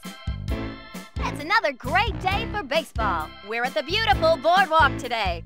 Overall, I think the general sense of control present here with Backyard Baseball 2004 is pretty good. I never felt like I was unfairly restricted from being able to control how my players swing, pitch, or run. Yes, there is still the random chance of errors occurring when players try to catch the ball, but I found it to be a bit more infrequent compared to past titles, so I consider that a good thing. This game was also the first to introduce the ability for base runners to lead off and pitchers to attempt to pick them off, which, while it might be a minor addition, it does show that the team working on this title was aiming to expand on the gameplay wherever possible. And honestly, I can tell that Backyard Baseball 2004 has more effort put into it than most of the other Neo sports games thus far, just based on all of the new content that was featured here, although this is more prevalent in the PS2 and PC versions of the game. The GameCube version of Backyard Baseball 2004 was actually released one year prior to those titles, which is why I'm covering it first. But just know that all of the versions covered in this section are fundamentally the same game. Think of this like the GameCube version of Sonic Mega Collection, and then the PS2 version was later called Mega Collection Plus and featured some extra content on top of what was in the GameCube version. It's the same exact situation here. Whoever said two wrongs don't make a right has never seen this kid banging dingers. I don't think that was coming back.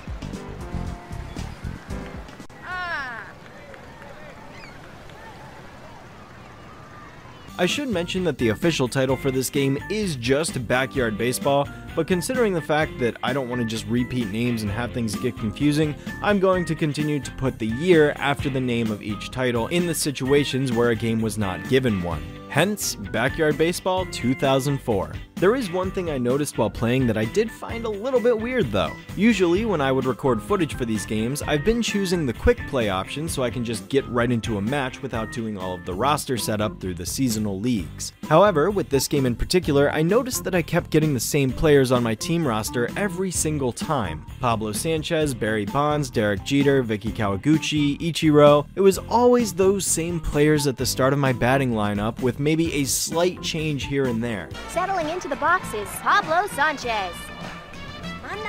Settling into the boxes, Pablo Sanchez. Adios, baseball. Settling into the boxes, Pablo Sanchez. Adios, baseball. Stepping up to the plate, Pablo Sanchez. Mándame una buena. Settling into the boxes, Pablo Sanchez.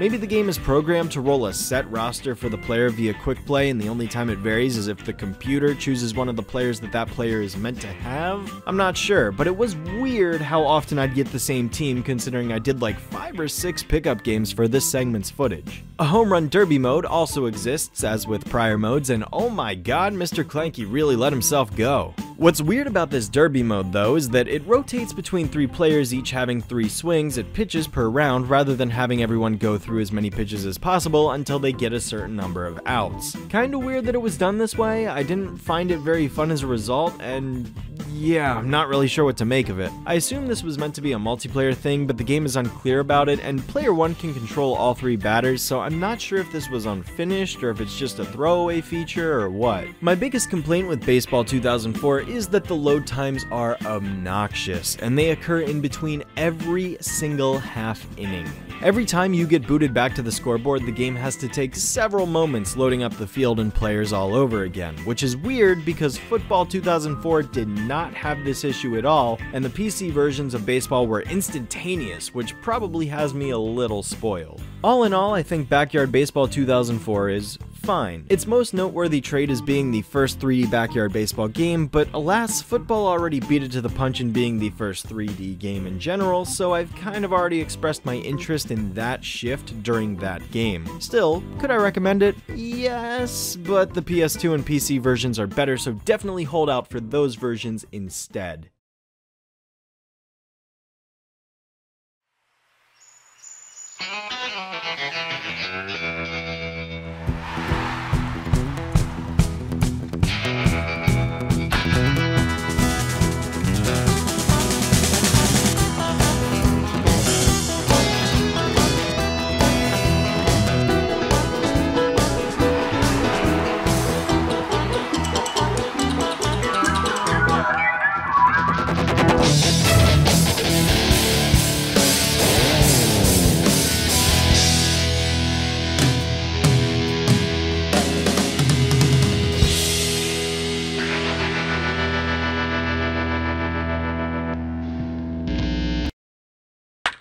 Just a short time later, Humongous Entertainment ended up re-releasing this updated version of Backyard Baseball 2004 as Backyard Baseball 2005, but unlike Backyard Baseball 2003, I can definitely see why a lot of additional content was added to this game to try and justify the re-release more. I wouldn't say this re-release is entirely brand spanking new, but it was released on a different platform with some added features and modes that couldn't have been downloaded as a patch update or DLC back when the game first came out, because this was released before internet connectivity really took off with video game consoles, so I can give it a pass. For starters, Alex Rodriguez was featured on the cover of both games, but had his uniform changed and updated from the Rangers to the Yankees due to the trade that had occurred in between both games. Basically, Backyard Baseball 2005 is the same game as 2004 with a few extra bells and whistles that aren't too hard to notice. A few new fields have been added in the form of a drive-in theater variant, as seen in Backyard Football on the GameCube, and a third unlockable stage as well, and a returning feature from the aforementioned 3D Backyard Football title is the option for a day and night mode on a few specific fields. I'm not sure why this wasn't done for every field in the game, but the fact that there's a bit more variety here is still cool nonetheless. Greetings, sports fans! It's another great day for baseball. We're coming to you live from the Starlight Orchards Drive-In Theater, and you're just in time for the game.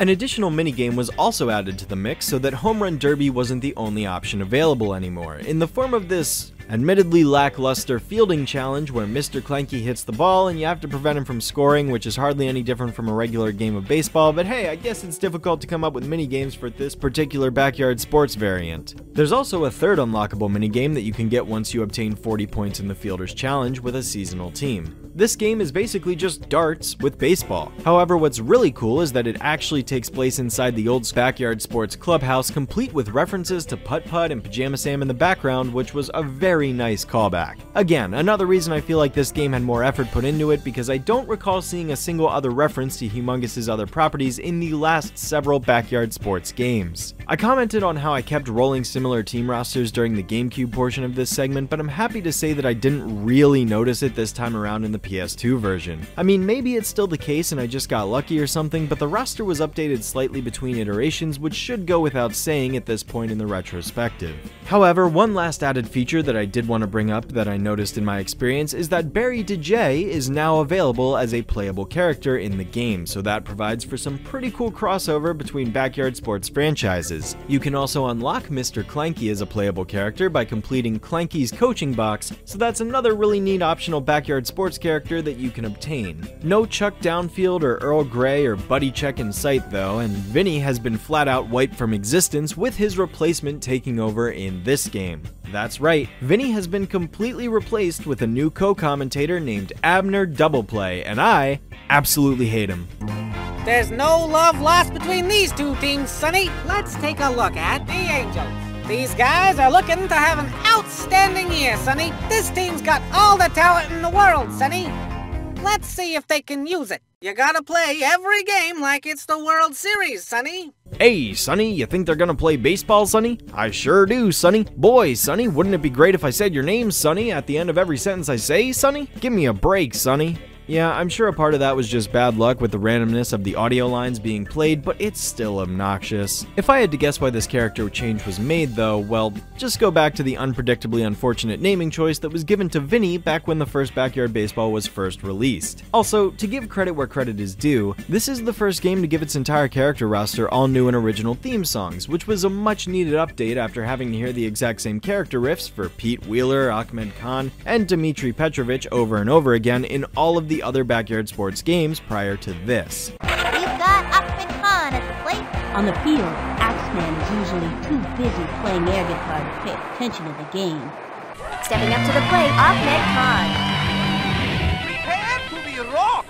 Pablo still has his classic acoustic guitar, though. He is the only character whose theme is unchanged because it's just so iconic. But wait, we're still not finished with Backyard Baseball 2005 just yet, because not only was it released on the GameCube and PlayStation 2, it also got a PC version. Even though it's just a port of the PS2 version, which was an updated port of the GameCube version, which was released one year earlier in 2003. Well, hey, this wasn't the first time Humongous had just re-released an updated version of a pre-existing game, I guess. So what's new with the PC version compared to the PS2? Well, as far as I can tell, it's the exact same game. Same intro, same added minigames, some unlockables, same everything. The only real difference here is that it has support for play via keyboard and mouse. I will say though, using the PC version as a basis for this, the unlockable fields in this game are actually pretty cool. You've got the Quantum Field, which is the added one I mentioned, based off of space with a lot of cool elements featured in the outfield. There's the Humongous Stadium, which is the most official looking baseball stadium out of the entire list, and has references to the previous game scattered about. And then there's the Aquadome, which is kind of like an underwater Atlantean ruins field.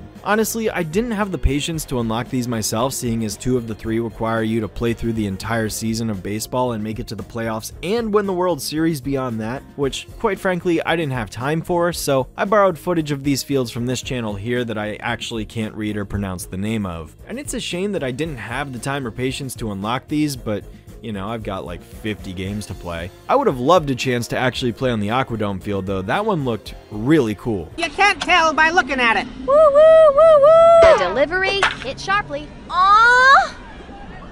That's a solo shot. Oh hey, who's that swimming in the background there? Yep, Freddi and Luther actually appear in the game swimming over the outfield of this stadium, and that's really neat because by this point the Junior Adventure titles had completely ceased production, so I'm happy to see Humongous was referencing its properties several years after they had ended. Okay, now I think we're done with Backyard Baseball 2004 and 5.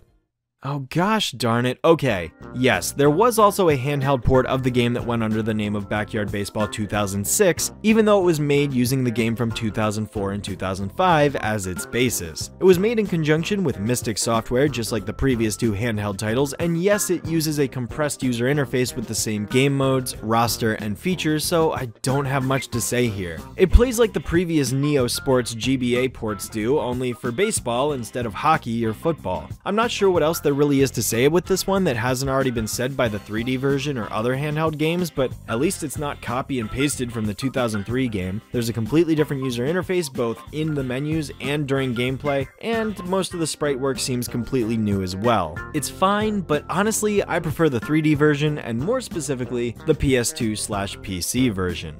Huh, is that it? Have I finally covered every version of Backyard Baseball 2004 slash 2005 slash 2006? Silence? Okay, I think we're good to finally move on then.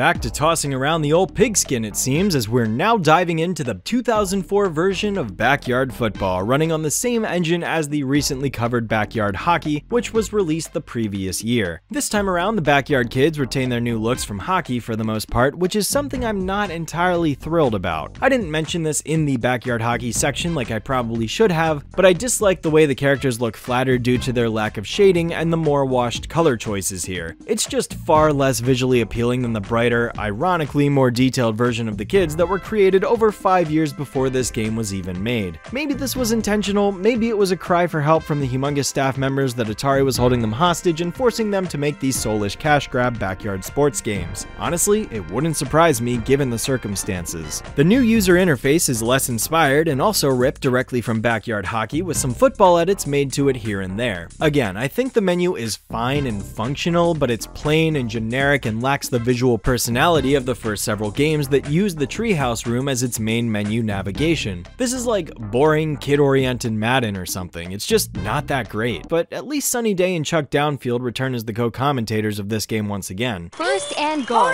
one yard line, drops back.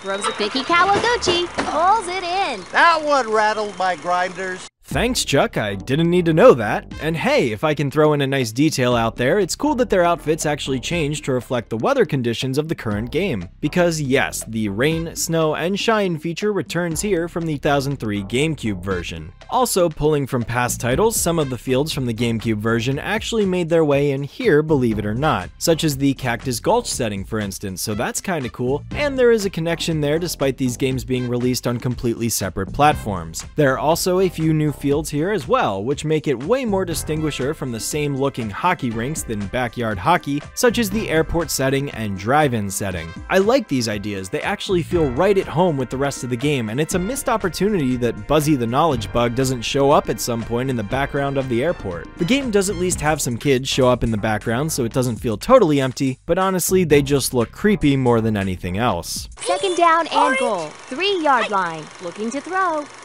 Gameplay wise, I'd also say this game plays about the same as the other top down titles. The character models are bigger on screen thanks to the zoomed in camera, so that at least helps me get a better idea of where everyone is, but I don't know man, I'm still convinced the computer cheats in this game. Before we get underway, I'd just like to remind everyone that this portion of today's game is sponsored by Wilbur's Watch Shop. If you don't know what time it is, it's time to stop by. That is a free ball. Ah. Touchdown! Good job! Down! I mean, really? What the heck?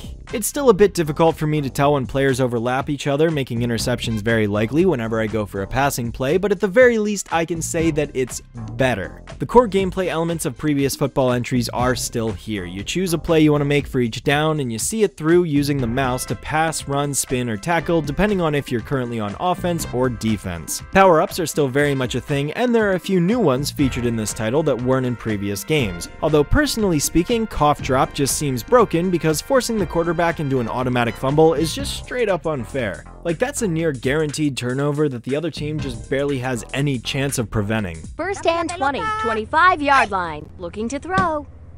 Going to the air. Marvin Harrison holds on to it.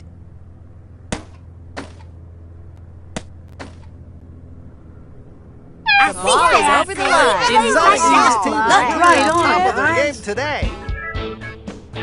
The audio issues, though. Oh boy, and I thought the chatter in the GameCube version of Backyard Football was annoying. Hmm, yeah, you know, that was really But not now supposed to hear like what I was it's saying. unacceptable. And then I said, oatmeal, are you crazy? Yeah, no, honestly, I have no idea how this was deemed acceptable sound mixing. Aside from that being probably the most glaring issue, this is probably my preferred version of PC Backyard Football games, but I still won't be going out of my way to play this on my own time. It's still Backyard Football, with slightly less impressive hand-drawn animation, but a better camera and field selection. Don't really know what more there is to say beyond that. It's fine. This is Sunny Day along with the BFL's all-time leader in career-threatening injuries, Chuck Downfield. What? Oh, sorry, Sunny. I, I wasn't paying any attention. You are stupid. You are stupid. And don't forget, you are stupid.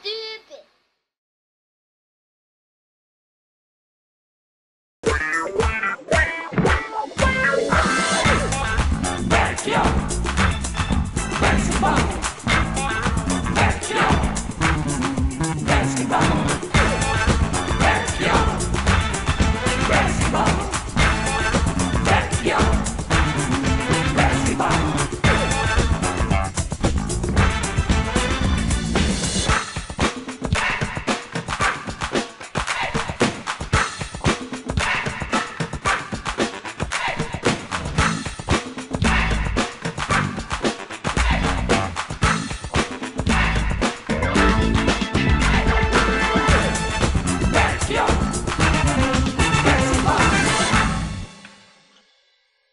Now, as for Backyard Basketball 2004, well, yeah, it's basically the exact same handful of updates that Backyard Football 2004 got, but applied to the sport of basketball instead. Same user interface, same animation and character designs with an updated roster for the year this game came out, a zoomed in camera on the court, Yep, not much to really go over here. Barry DJ returns for Backyard Basketball 2004, and the different courts available are pretty diverse with both indoor and outdoor options. Although I will say that the biggest change from the previous Backyard Basketball game is that the shooting mechanics have updated a little bit. Now, instead of needing to click on the actual basket to take a shot, your accuracy is based on the power with which you take the shot. Ergo, when you go to shoot the ball, this meter below the character will appear underneath them, and the closer you time your shot to the maximum red setting, the more likely and accurate your shot will be for going in.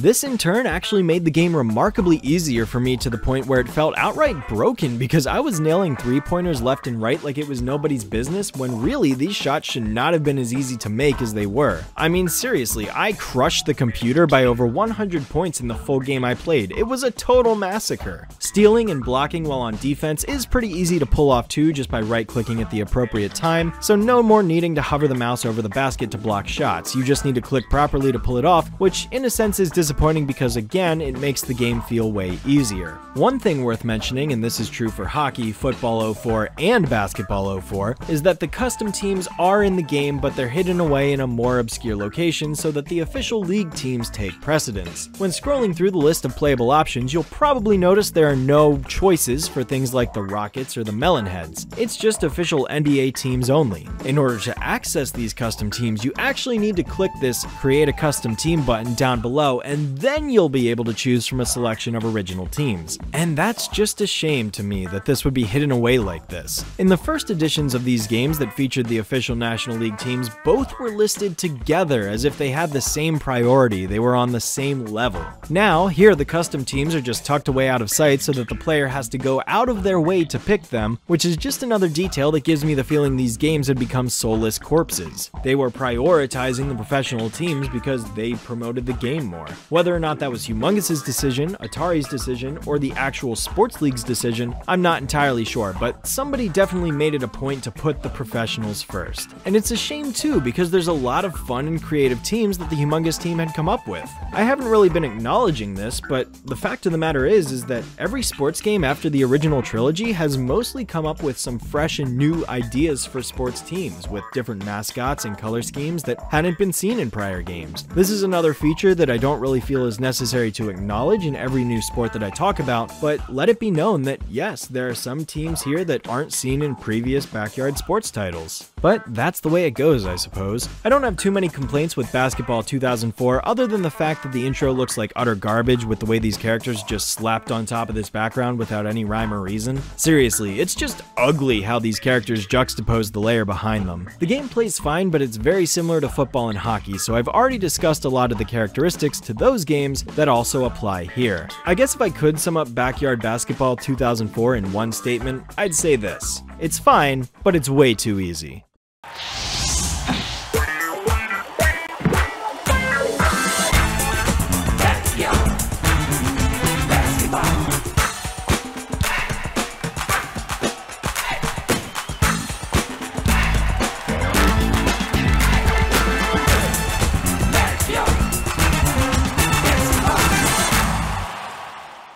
But before I go on to the next section, I also need to mention that Backyard Basketball 2004 also got a console release exclusively on the PlayStation 2 that is near identical to the PC version except with better graphics and less anti-aliasing on the 3D models, a complete lack of hand-drawn animation in exchange for 3D models, and extra minigames in the form of Horse and Hot Shot. Oh, and also, of course, a control scheme designed for a controller rather than a keyboard or mouse. X to pass, square to shoot, circle to spin, and triangle to jump or block. Power-ups can be used with the shoulder buttons, and overall I'd say this scheme works and feels pretty good. The timing mechanic on your shots is still present in the game, although instead of paying attention to the power meter at the feet of the players, it is instead replaced by timing this ring above the hoop properly.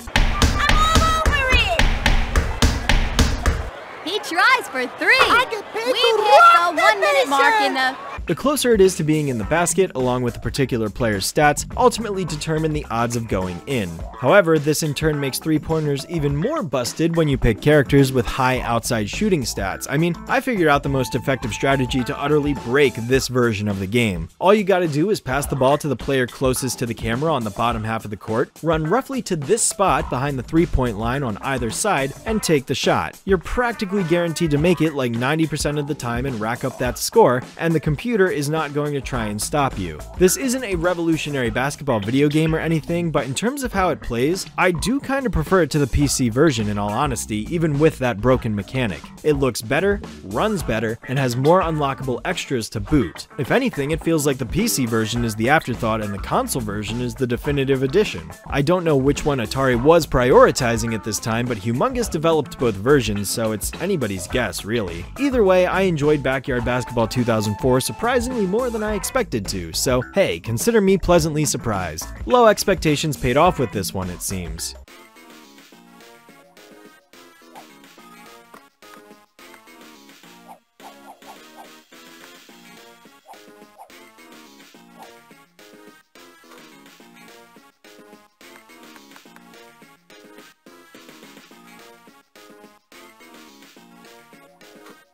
And just as Backyard Baseball had multiple releases of the same game, Backyard Basketball was also released on the Game Boy Advance on top of having been released on PC and PS2 as well. No GameCube version though, oddly enough, but this here is, like the football, hockey, and baseball titles that came before it, a direct translation of its bigger variation. The characters are pixelated sprites instead of 3D models, but otherwise it plays the same way, following the logic of the PC version with the power meter below the characters rather than the ring above the hoop method that was featured in the console version. This game does not feature Around the World as a minigame, but it does at least have the hot shot mode, although I didn't really spend much time on it. The game is fine, timing shots basically just comes down to not letting go of the button too early or too late, and otherwise it's got the same staple power-ups and controls that the backyard games are known for. Simple as that, really. Not much more needs to be said on this one either. All in all, I think all four of these handheld games that I've been talking about are all fine enough as a quick game to take on the go, but I will undoubtedly recommend the PC or console versions of them over the GBA games any day of the week. They're just inferior to their 3D counterparts, unfortunately. At the very least, they work for what they're meant to do, so I can't knock them too much, however. I can't see myself ever going back to them. So, Sunny, uh, how do you feel about short guys? They're okay. I mean, if you're into gnomes and stuff, why do you ask? Uh, no reason. It's tip off time.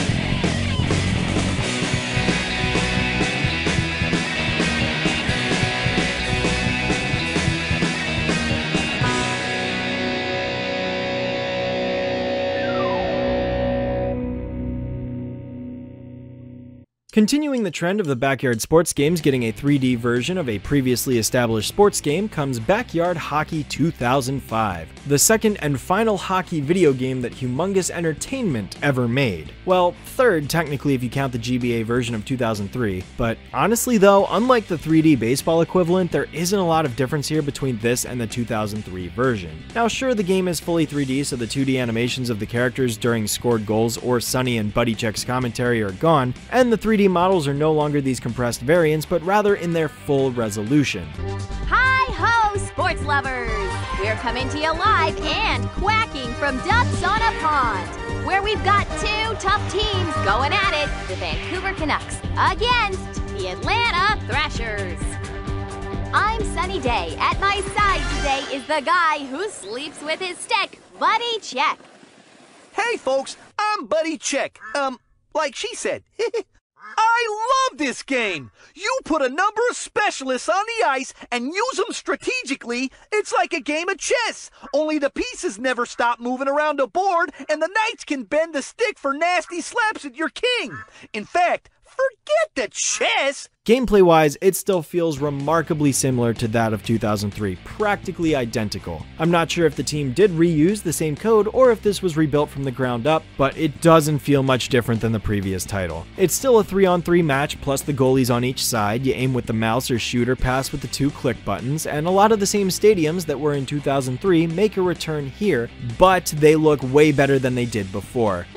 Welcome to another exciting edition of VHL Hockey. We're bringing you all the action live from the Ice Castle Arcade and Community Center Skate Rink. There's a lot more variety in the arenas of this game, which makes visually distinguishing between each one much, much easier to do. And I quite enjoy a lot of the motifs on top of that. There's an arcade, a motel pool, a pier. These things did not come through in the 2003 version, but in 2005, lots of more interesting locations are prevalent this time around instead of the same arena recolored slightly differently six times over. The game has plenty of unlockables worth going for and the standard features you'd expect being in the 3D era of the backyard sports games now now. Honestly though, of all the 3D titles, this one is probably my least favorite because it feels the least expansive on a previous entry. I don't find this to be a particularly bad game, but compared to 3D baseball, 3D basketball, and 3D football, this is not a huge leap in a new direction. Credit where credit is due though, this does have the best minigame out of any backyard sports game.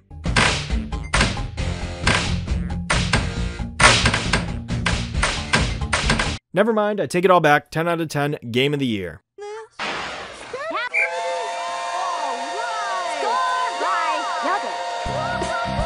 Second goal scored today for Yogurt. The Thrashers pull ahead. What a slap! That puck was in the net before it even left the stick. This might lead to something. you never know.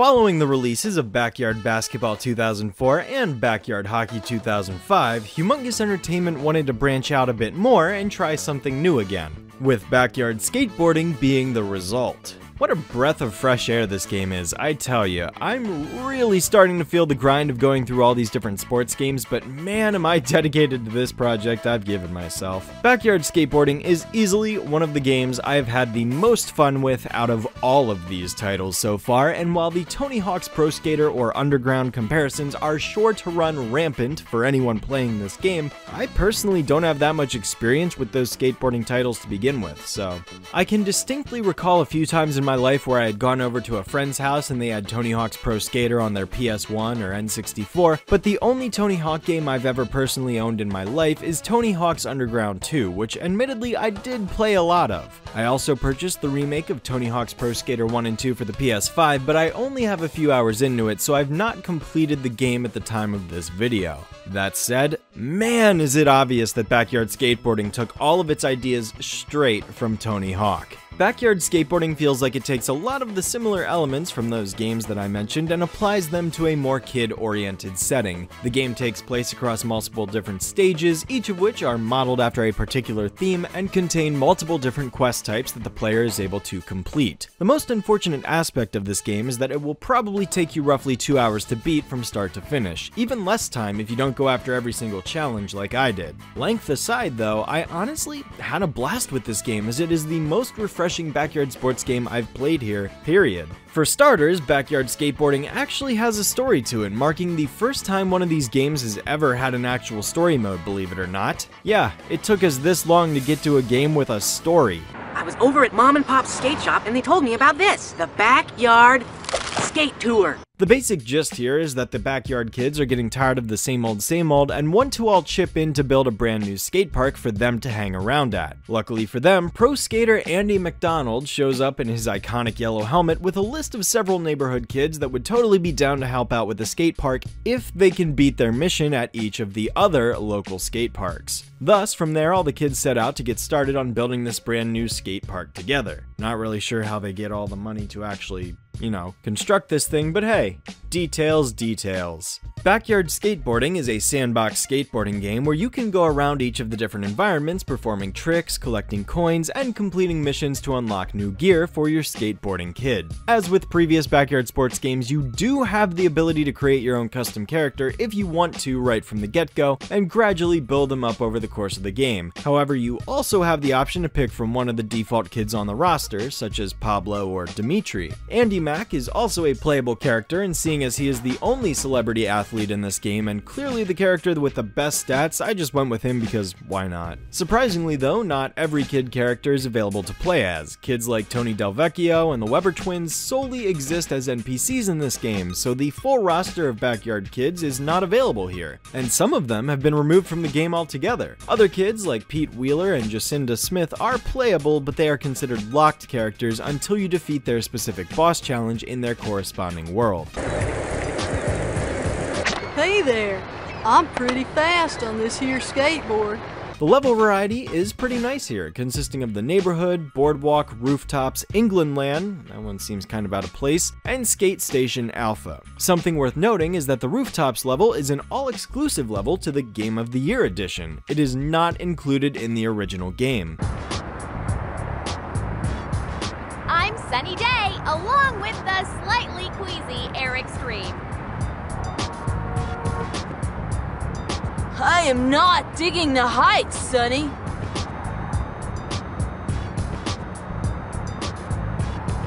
Every level is also introduced by Sunny Day, so she's still around providing some announcements before each level to get things going, which is cool. And this time around, she's joined by none other than Eric Stream, with a voice that might sound familiar to those that have seen my coverage of the Putt Putt franchise. I'm Sunny Day. Joining me today is three-time Backyard Skate Tour champ and two-time Skater Dude Monthly Skater Dude of the Year, Eric Stream. Thanks, Sunny. I'm stoked to be here. Can't wait to see these kids rip it up. Woohoo!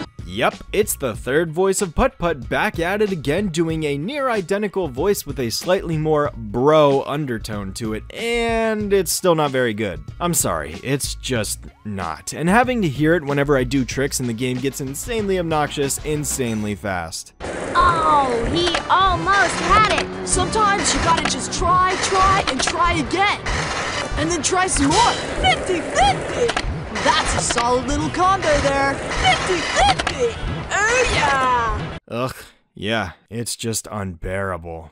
The game follows the same structure for each of its levels, so in truth it is a little repetitive, especially when it comes to the various types of missions there are to complete. Each level, aside from the final area, all contain 5 rookie missions, 5 pro missions, and 1 boss mission that the player needs to complete, with one of the pro missions needing to be beaten in order to unlock the next level, and all 4 of the boss missions in the game needing to be beaten to unlock the final level.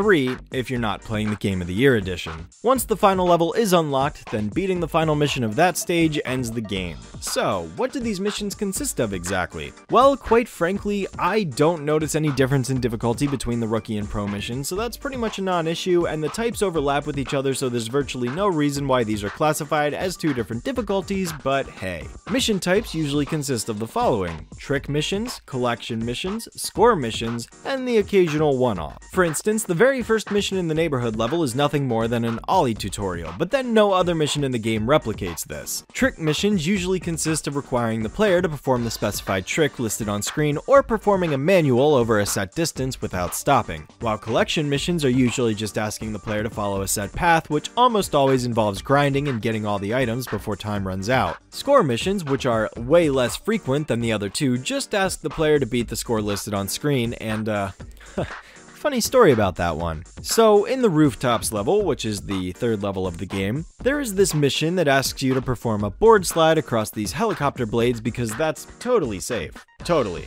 Everyone's scared to get up near the blades, so no one wants to try to do any tricks off the helicopter. Well, gee, I wonder why. Honestly, this mission sucks. I have no idea what I'm doing wrong, but no matter what I press, I just can't seem to get this board slide to take. The game specifically states that I need to press F to pay respects to grind along the blades, but whenever I do that without pressing a direction, I end up doing a 50-50, and whenever I press a direction on top of that, I do something completely different. 50 50! 50 50! 50 50! That's the stuff! 50 50! 50 50! 50 50! I think you could do better than that, dude! 50 50! 50 50! 50 50! 50 50! 50 50! 50 50! 50 50! 50 50! 50 50! 50 50! 50 50! Oh my god, I get it. Alright, let me see here. Just adjust that little meter right there, and ha! Who's laughing now, Eric? Anyways, in my frustration of not being able to figure out how to perform this non-existent board slide maneuver, I decided to mash keys randomly hoping that would work, and this was the result. Shake it off, dude! Shake it off! Sweet! Way to go, kid! Nice! Oh man, you totally Failure is not an option. He almost did, but then he didn't. Oh my god. So then I went to perform the first score challenge I was given after that. Think you can beat my score? Bring it. Yay! Get going. You've got a long way to go to beat my score. Nose grind! Nose slide! Now you're getting it! 50 50! Nose grind! Nose grind! Tail slide! Tail slide! All right. You sure showed me. I guess I need more practice. Guys, I don't think the game can handle my extreme gamer skill. The five boss missions are probably the most exciting in the whole game, however. Ricky's kinda sucks seeing as it's just another skills mission, but Pete Wheeler's consists of this exciting race sequence where you race him to the end of the course all around the boardwalk. Reese Worthington's challenge on the rooftops has the player skate over these four antenna poles in an admittedly broken fashion.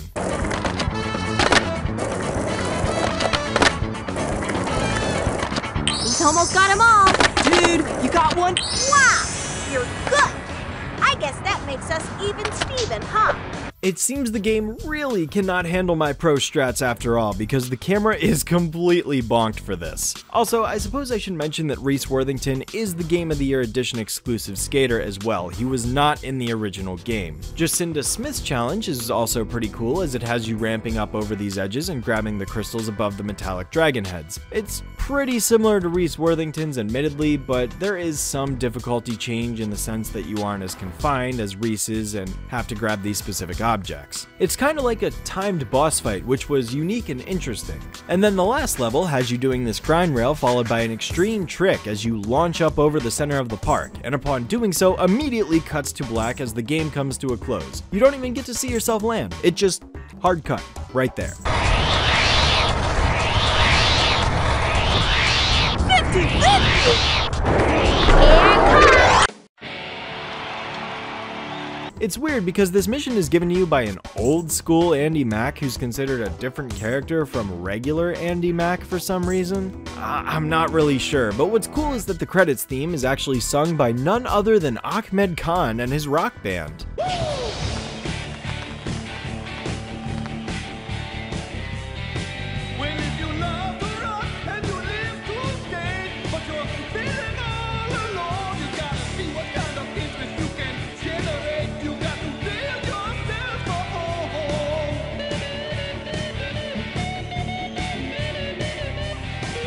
Okay, admittedly, it's really, really bad, but at least the person singing sounds like they're having a blast doing so. I mean, that's gotta count for something, right? The Game of the Year edition is mostly the same game as before, but with the added stage and character as I mentioned, plus a new jet boost power up, new tutorials and cosmetic items, and some bug fixes. Basically, treat it like the other sports re releases. It's the same game as before, but a little bit better. Not totally justified back when it came out, but nowadays it's definitely the best version to play. Backyard Skateboarding didn't just get released on PC, however. As you should probably expect by this point, there was also an inferior Game Boy Advanced version released alongside the 3D title. There isn't too much to say here on this game, however. Like all GBA games that came before it, it is just a translation of the PC version, except this time from a top down perspective rather than a full on third person one due to the hardware limitations of the Game Boy Advance. It's fine, not really my cup of tea, and I much prefer the PC version of the game. Still, I'm covering every single backyard sports game ever made, so I had to at least mention it here, but I don't have much of a reason to go more in depth with it than that.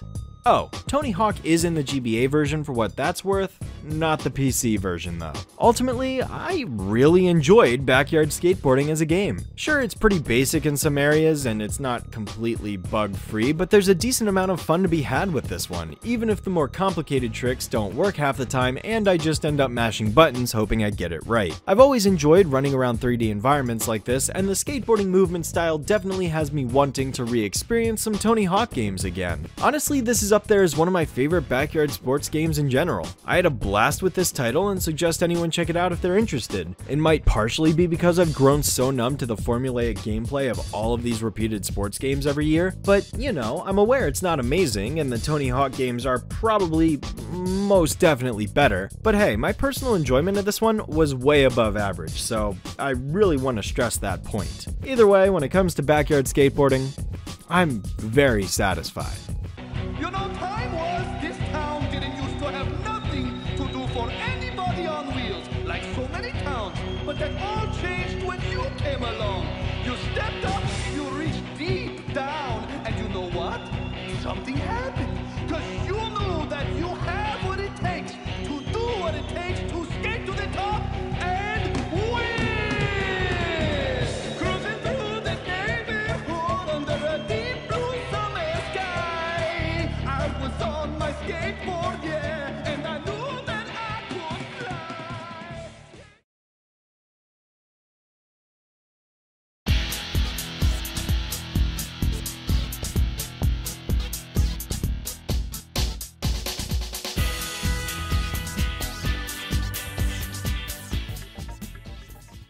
And this brings us to the very last backyard sports game to be released within the Neo Sports era. How fitting, this era began with backyard football and now we're ending it with the exact same sport. Backyard Football 2006, released on both PC and the PS2, feels different enough from the prior 3D game in 2003 to have its own separate title released. Sure, some of the game's programming and models might have been reused, and by this point we've been over so many football games that I don't feel the need to really explain how it plays because other than the new kick meter, which you have to time first for power and then for accuracy, there's nothing new with how this one plays compared to 2003. Instead, I'll focus on what the game does do differently. First things first, the game brings the tree house back.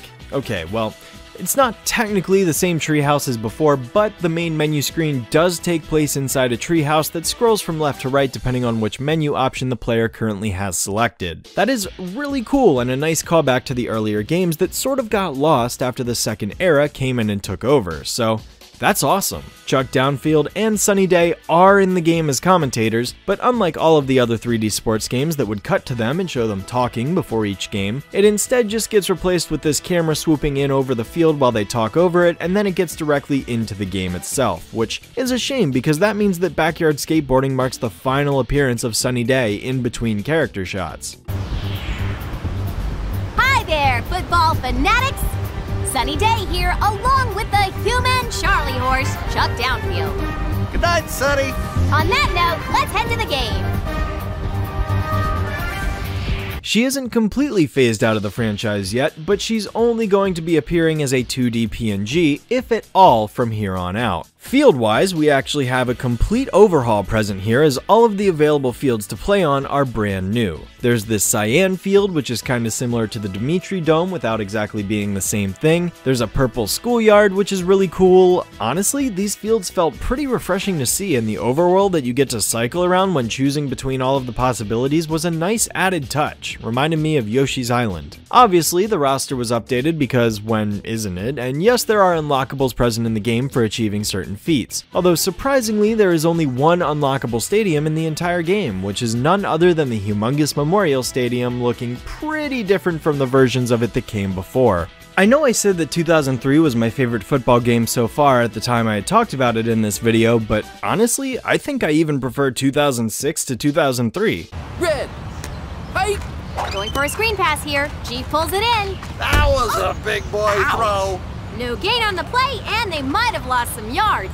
I only ever had one instance where it felt like the computer was being unreliable, and it was this moment here where it managed to avoid nearly my entire defensive line by shrugging off all of these different players going in for a tackle. I just don't get it, man. Like, that guy should have been down long before he made it that far, but whatever. Other than this one moment, I never felt like the game was unreasonable. And hey, another positive I can give it is that there are actually more players on the field now. The team rosters have increased up to 7 kids from the previous 5 that were available in past titles, providing for more options and plays to choose from when navigating the ball around the field, so that's pretty cool. The Backyard Football tie-in on the Game Boy Advance, however, is the exact same game as before, except it looks worse. This is one of the best examples where it truly feels like the developers at Torus Games took the exact same game that that they had already made three years prior and just made a few tweaks here and there and called it a day. The differences are minuscule at best. The user interface was updated in some places but not others, and the few places that were changed in my opinion look worse than the first game. For instance, the main menu screens. The player roster was obviously updated too to remove some inactive players and make room for some of the up and coming big names that were making their way onto the scene, but instead of the incredibly crisp sprites of the original character designs, this game uses the second generation of Backyard Sports Kids designs, and they weren't even made specifically for this game. It just looks like the designs from the PC Backyard Sports games were compressed down, and it looks so much worse because of it. Like, compare how crisp and clean the 2003 version sprites look compared to 2006. It's such a downgrade.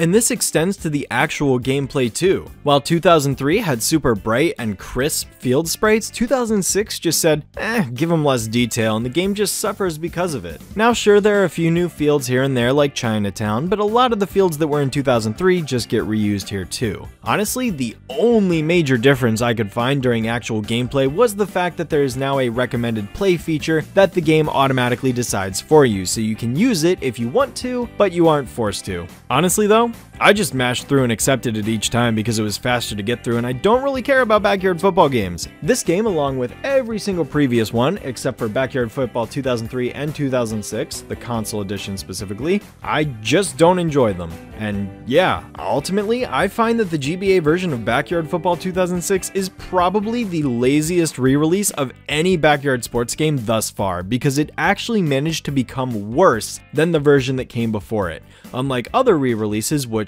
at the very least, were of a similar quality, if not better. Now one thing that I do want to bring up very briefly at the end of this section of the video is that this is actually the very last video game that Humongous Entertainment would ever work on before its parent company Atari would dissolve it on April 1st, 2006. It should be said that there was some sort of agreement made where Humongous had to publish any games that it was currently working on before the company could dissolve it, but those games, if there ever were any, were never released, thus marking the official end of Humongous Entertainment as a company. Backyard Football 2006 was its swan song, and while being a decent game, not exactly the best note to end on.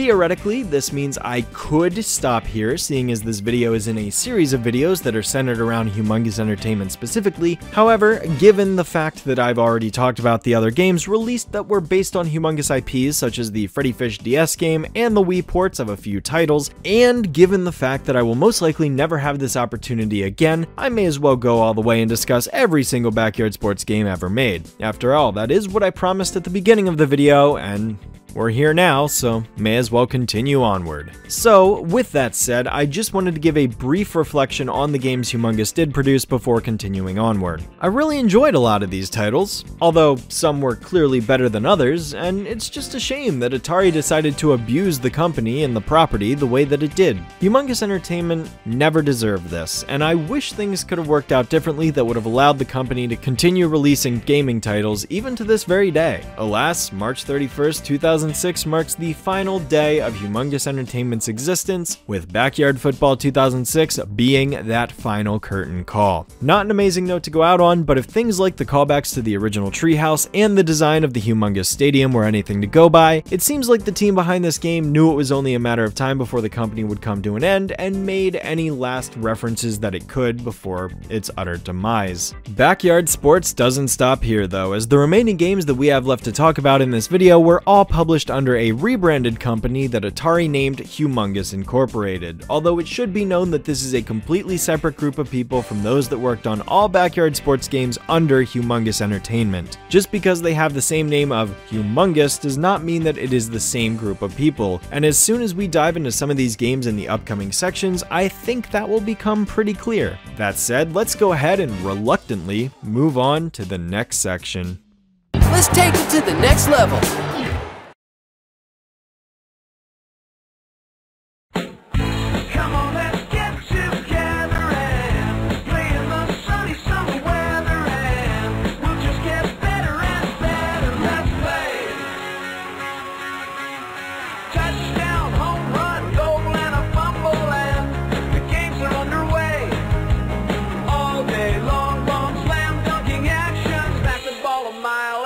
Is what the kids all say.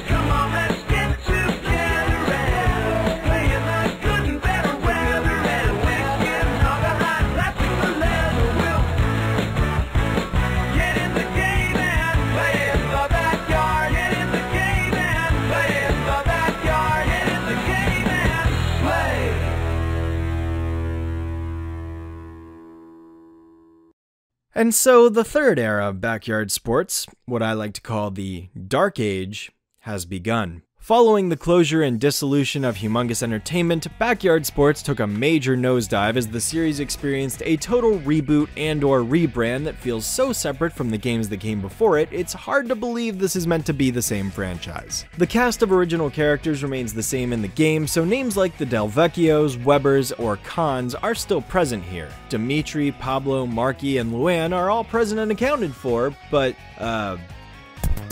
Greetings from Earth. I am Dmitri Petrovich. Yeesh, they do not look anything like what they did before. Gosh, it's almost insulting what Humongous Inc. did to the series. I mean, this is just terrifying. They're the original characters in name only. One Actually, Weber plays even better when Twin Sydney is on Easy the for outs.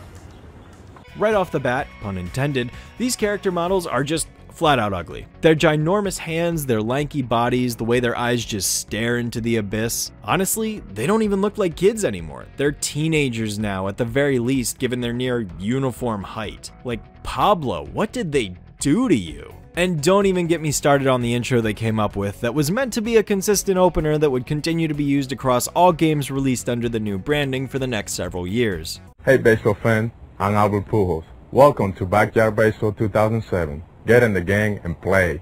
That compression, ugh, what is this? A flash animation on Newgrounds in 2006? Kinda does look like that, doesn't it? I guess it's interesting that they got Albert Pujols to make an appearance in the opening, considering he was a pretty big name player at the time, but yeah, get used to seeing this because this is definitely not the last time it will be showing up.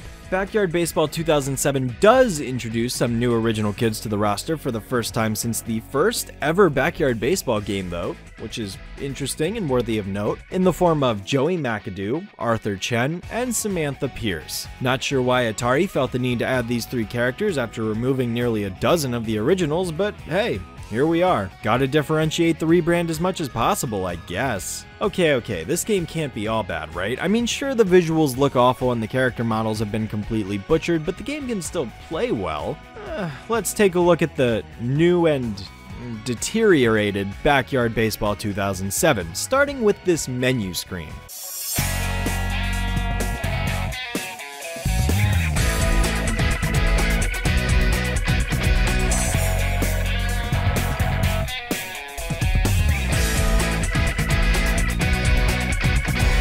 Alright, okay. Looks like we have the usual choices here. There are options for minigame modes like Home Run Derby and the Fielder's Challenge. Uh, there are some unlockable things that I don't care about and won't bother going for. Okay, yeah, standard backyard baseball options that we've already seen in the past several titles are still present here, so not much has changed in that department either. Well, I guess that only leaves two things to talk about field selection and general gameplay. Getting the former out of the way first, yeah, I think there's actually a pretty solid field selection here. In fact, this game contains an entirely new fresh and original set of environments to choose from that haven't been featured in any previous backyard sports game. These fields range from the burger joint to the warehouse, and there are also two unlockable stadiums in the form of the Haunted House and Giant Gymnasium. Okay, made it. How is everyone? Baseball and burgers. Not much better than that. Well, baseball and hot dogs are pretty good.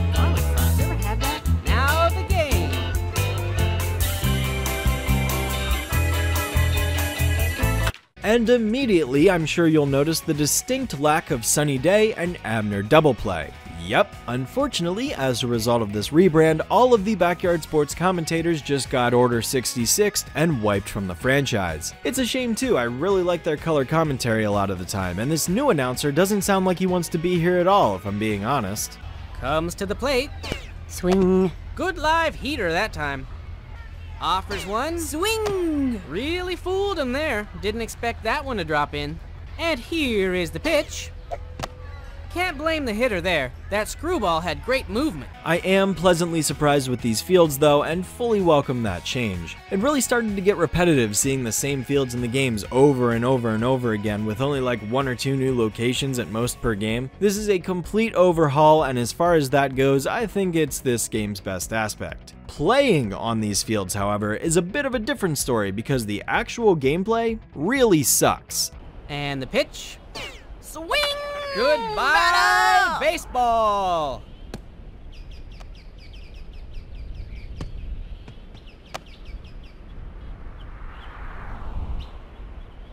The game still plays similar to before with the pitcher being able to choose the type of pitch they want to throw and aiming it accordingly, only now you have to aim the pitch as the pitcher is throwing it rather than aiming, selecting your spot and then pressing the A button to confirm it. I'm perfectly fine with this change when it comes to multiplayer because while I haven't played any multiplayer in any of these games myself, I'd assume this gives the person at bat an advantage because they can see exactly where the pitcher aims the ball. You know what? In fact, let me test that really quick with a couple of games to see.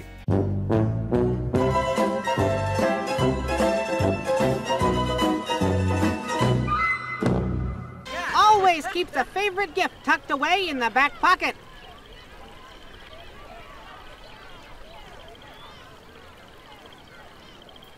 Here's the pitch. Lets it fly. A screwball. Alright, interesting. So that answers that question. On the hitting side, there is no longer a difference between grounder and line drive. Instead, the bunt feature has been split into bunt right and bunt left options, while line drives and grounders have just been merged into one swing button. The power swing is still available as a separate option though. And fielding, ah oh, man, I don't know. I feel like these characters run too slow in the field to where it's extremely easy to get several bases on hits that in previous games would be reasonably balanced. What used to be a double in older games is now an inside the park home run here. The AI programming for my own teammates also seems to be garbage because in what world would a base runner on second with less than two outs run on a pop fly sent to the outfield? And delivers. Swing batter!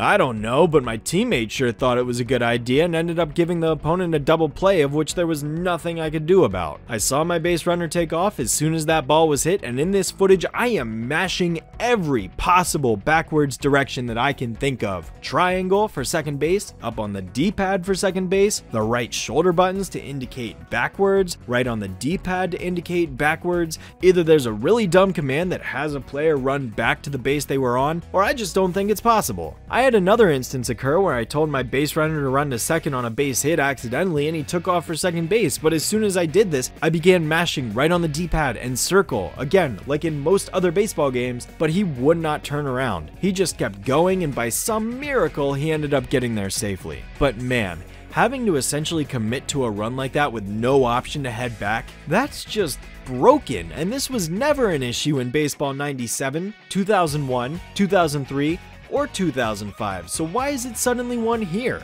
Let's it fly. Swing Crush! it! Foul.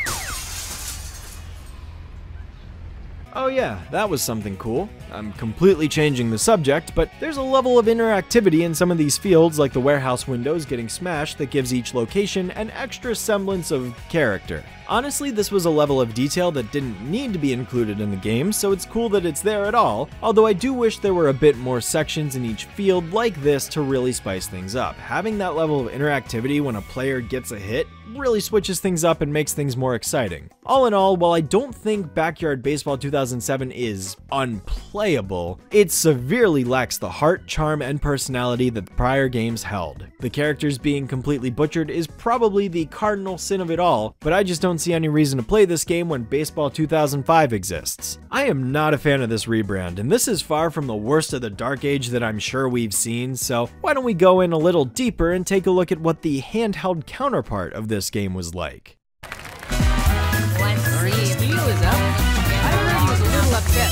The passed over his backyard as a field this year. His dad just put in new grass. They were ready for that one. Not able to bring...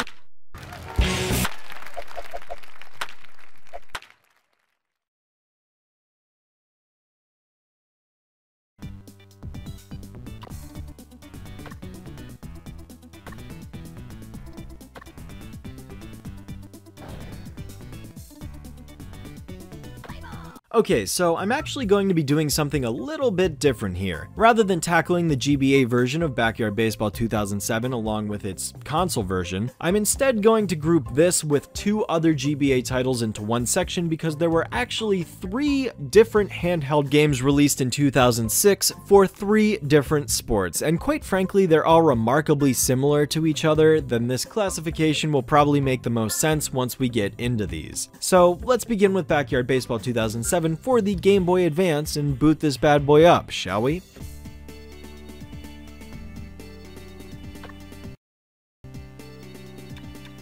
Oh, so it's just Baseball 2006 again. Same minigames, same exact gameplay, same menu and user interface, except slightly worse than before. Truly the only differences in this game is that the Aquadome and Boardwalk are gone and replaced by the Country Airport and Weber Estate from the console version. Quantum Field has been changed to Area 51, and the character sprites have been updated to match the new designs for some characters, but not all of them. Achmed, Pablo, and the Weber twins, yeah, they've got their new designs, and boy are they unappealing to look at. But then you've got characters like Annie Frazier and Lisa Crockett, who didn't make the cut in the console version, but are still in this game using their old sprites from 2006. So basically, the game goes halfway in updating anybody that's a part of the 2007 rebranded roster and just left everybody else in the game who got cut out of the console version without updating them. Talk about lazy. Other than that and a slight roster update for the new season, it is the literal exact same game as before. And I thought the 2006 version of Backyard Football on the GBA was lazy. This is the least amount of effort you probably could have given, aside from actually just publishing the same game a second time. But hey, it can't get any worse than this, right?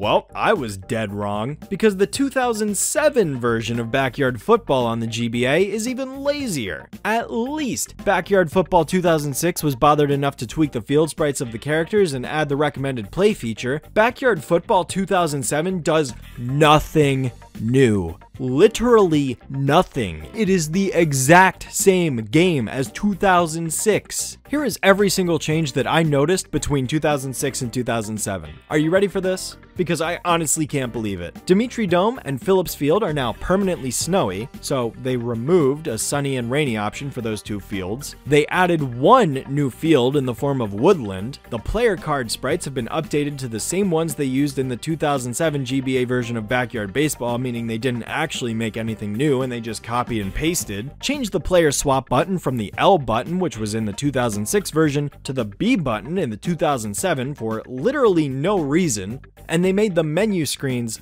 uglier. Seriously, how is it that Backyard Football GBA went from this to this. It's so bland and visually unappealing. The giant white screen just gives it this awful color scheme that I hate looking at. Like, what honestly happened here? Of the three GBA games made for 2007, football is easily the worst of the three, but don't get me wrong, the third game still has plenty of flaws.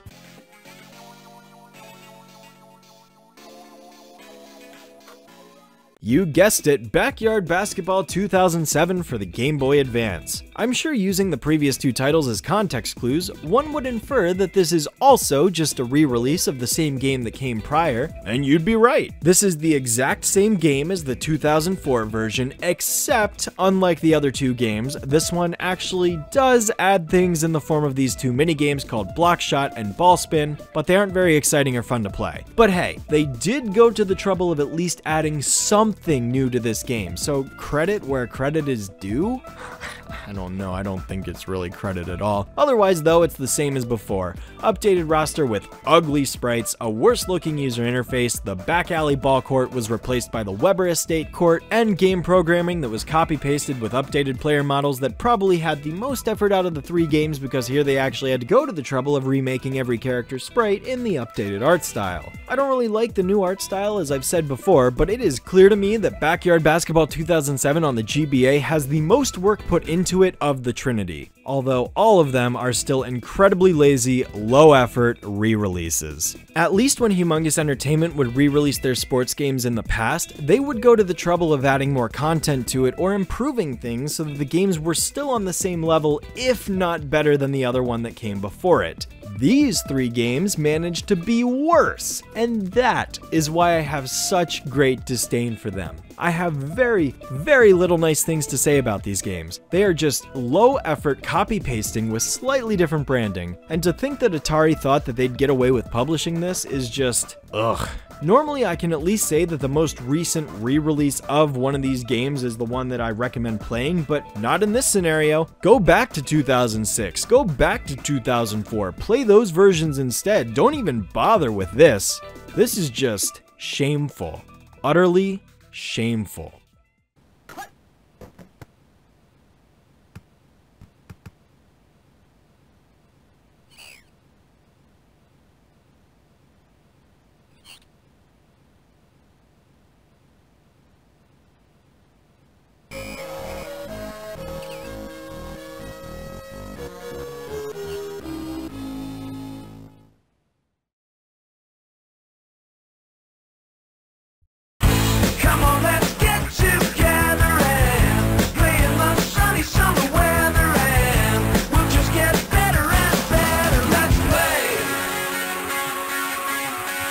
And so, the Backyard Sports 2007 rebrand continues with the next game in the series, Backyard Basketball 2007. Alas, it seems we have reached another substantial point of significance as this game marks the final ever backyard basketball game that would be released. Yes, we once again have reached the end of another backyard sport. How sad. And sad it is, because this is undoubtedly the worst backyard basketball game in existence. As if the characters weren't lanky enough in backyard baseball, here their proportions are severely exaggerated in the sport of basketball to the point where never in a million years would you be able to convince me that these are meant to be children. No, they're not even human. They're just abominations. The intro is also just as ear grating as ever, although this time it's actually greeted by NBA player Paul Pierce, who does the intro clip. Hey basketball fans, this is Paul Pierce of the Boston Celtics. Welcome to Backyard Basketball 2007. Now get in the game and play. It's got the same menu style and layout as Baseball 2007 did, seeing as we're into this new era of backyard sports games, but don't expect this consistency to continue for much longer. Unlike the GBA version, the console release only comes with horse as a minigame and nothing else. No around the world, no block shots or hot shots, no ball spinning, just plain old horse. And honestly, the minigame plays itself most of the time that it hardly feels like I'm even doing anything at all. He fires a jumper.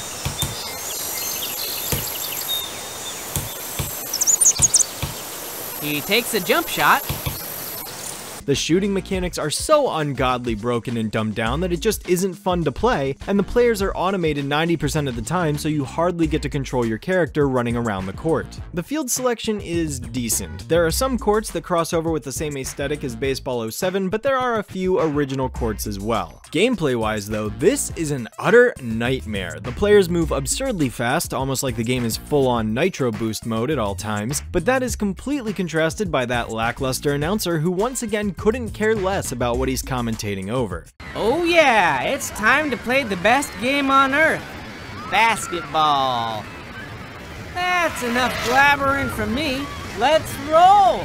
Like, dude, at least show a little enthusiasm. In truth, the Backyard Basketball 2007 gameplay is an utter mess because none of it works. Stealing doesn't work. Blocking doesn't work. Shooting only when it wants to. And what I mean by that last part is that unlike the previous iterations of the sport, this game has no sort of power meter or shot accuracy calculator programmed into the game whatsoever, meaning all you do is press the triangle button and hope the ball goes in the hoop with no consistent form of knowing whether or not you'll make the shot. I mean, on one hand, this prevents players from just abusing three-pointers all the time the way I do, but at the same time, pure luck-based anything in video games is something I'm personally always against because the player has has no control over whether or not their shot would go in. A little bit of luck, sure, but at least allow the player to influence the outcome themselves and increase their odds. You just press the shoot button and hope for the best. There's no immersion present and no skill-based timing that allows a player to influence the likelihood of them making a basket. It is just completely up to whether or not the game wants to let you score as far as I can tell. Maybe there is something that influences it, but in my experience, I couldn't figure it out. Pressing the button down longer didn't seem to have any effect effect on my shots, nor did standing still before shooting the ball versus pressing the button while moving. I suppose I can mention that power-ups are still a thing in this series, and just because there was a rebrand doesn't mean those have gone away, but they aren't very exciting most of the time, and I only really had an opportunity to test out a few while I played this game.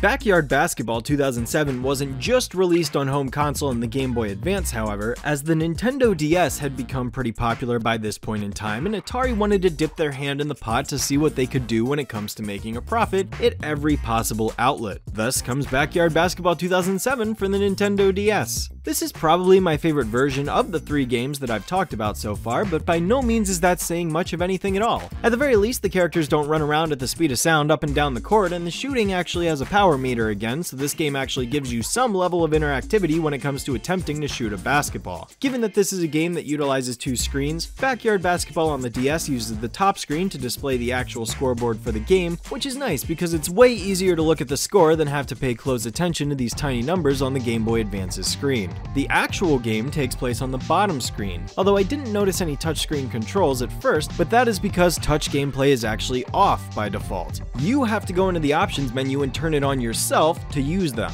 The character models, honestly, don't look half bad. I mean, the DS's 3D graphics are decent and the kids are way less lanky than the console version, which pulls it away from the uncanny valley issue that I had. The user interface is also nicer, and it's great that this game isn't just a total blatant rehash of an already released game the way the Game Boy Advance version was. One thing I can give the game credit for, however, is that for once, its court selection is consistent with the console version because areas look nearly identical, albeit in a lower resolution, so that's nice. Gameplay-wise though, I mean it's still 3v3 gameplay, although I find passing and controlling the characters more reliable because they aren't juiced up on caffeine, but I gotta complain about the stealing mechanic because once again, it flat out doesn't work.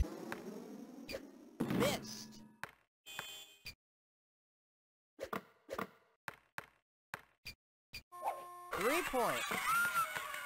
Yao Ming clearly swiped that ball from the computer right there numerous times, and not a single one registered as a steal. I tell you, I was mashing the steal button at plenty of opportunities where I swear I should have taken the ball from the opponent, and not once did I ever successfully pull it off. Nor did the computer pull it off on me. I'm convinced it doesn't actually work. Either QA testing didn't spend very much time on it, or there is some absurd condition I'm missing here that's preventing me from taking the ball. Honestly, for a Nintendo DS sports title, I think the game is is fun, although shooting is much harder to do than previous games without being reliant on luck in the way that the console game is. I find that the computer isn't always the greatest at predicting where the ball is going to land though, because I had several instances where this had occurred during some games and I was just kinda dumbfounded by it. It's just silly more than anything else. But yeah, overall, I like the DS version of Backyard Basketball 2007 an okay amount. Could not care less about the other two, though. They're both atrocious in their own different ways. It's a shame Backyard Basketball had to go out on this note, though, because even though it's not my favorite sport or anything close to it, I had a decent amount of fun playing the other games prior to this year's releases. I don't see myself ever returning to these games again, so I did at least want to acknowledge that this is the last time I'll be talking about basketball in this video. Okay, well, there is one other game that I'm going to be talking about, but it is completely different from how any of these other ones play, and we are not quite there yet. Classically speaking, this is the last backyard basketball game. But that just leaves three other sports remaining, and unfortunately, the next game I talk about is the last of its kind as well.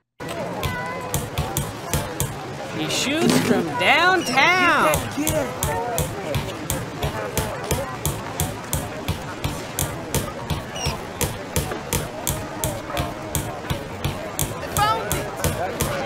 This ain't the 50s, man. Shoot the ball.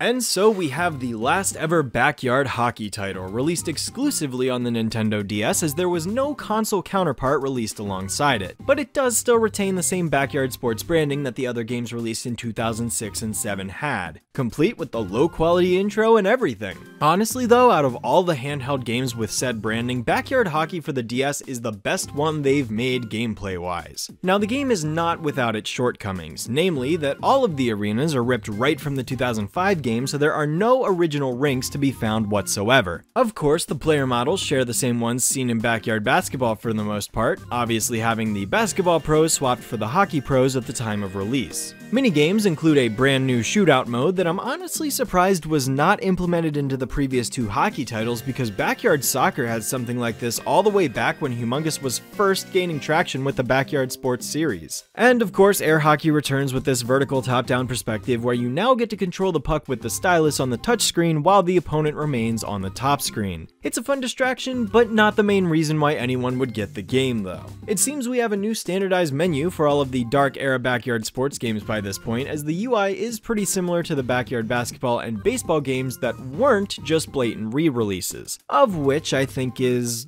fine enough. All of these games really do lack the side modes and extra content that other sports games are usually good at incorporating in order to switch things up and have more variety in the gameplay. Most of the backyard sports titles I've been talking about in this video have almost all just been so focused on playing matches that there wasn't anything else except for the occasional minigame here and there. Except for football, which gets nothing. Gameplay still consists of the 3v3 overhead view, which is now possible thanks to the Nintendo DS's 3D graphics capabilities, and the characters all controlled decently well. Passing and shooting is the same as before, but I find it a little more difficult to aim a shot on goal in this version because the characters are restricted to just the bottom screen, which makes it really hard to see when you're having to shoot on the goal at the top end of the rink rather than the bottom end. The computer also likes to do this maneuver where it just spams the shoot button over and over again whenever it gets up close to your goal.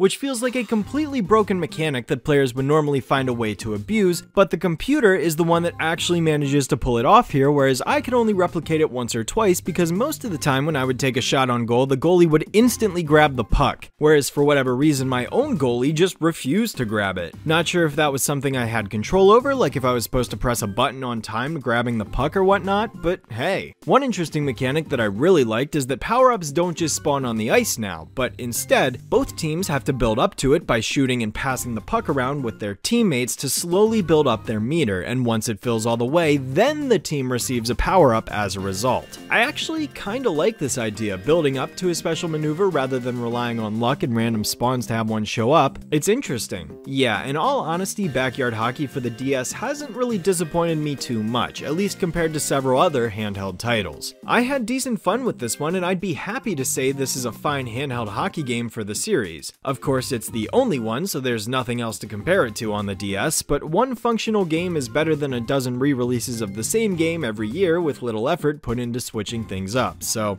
I'll take what I can get.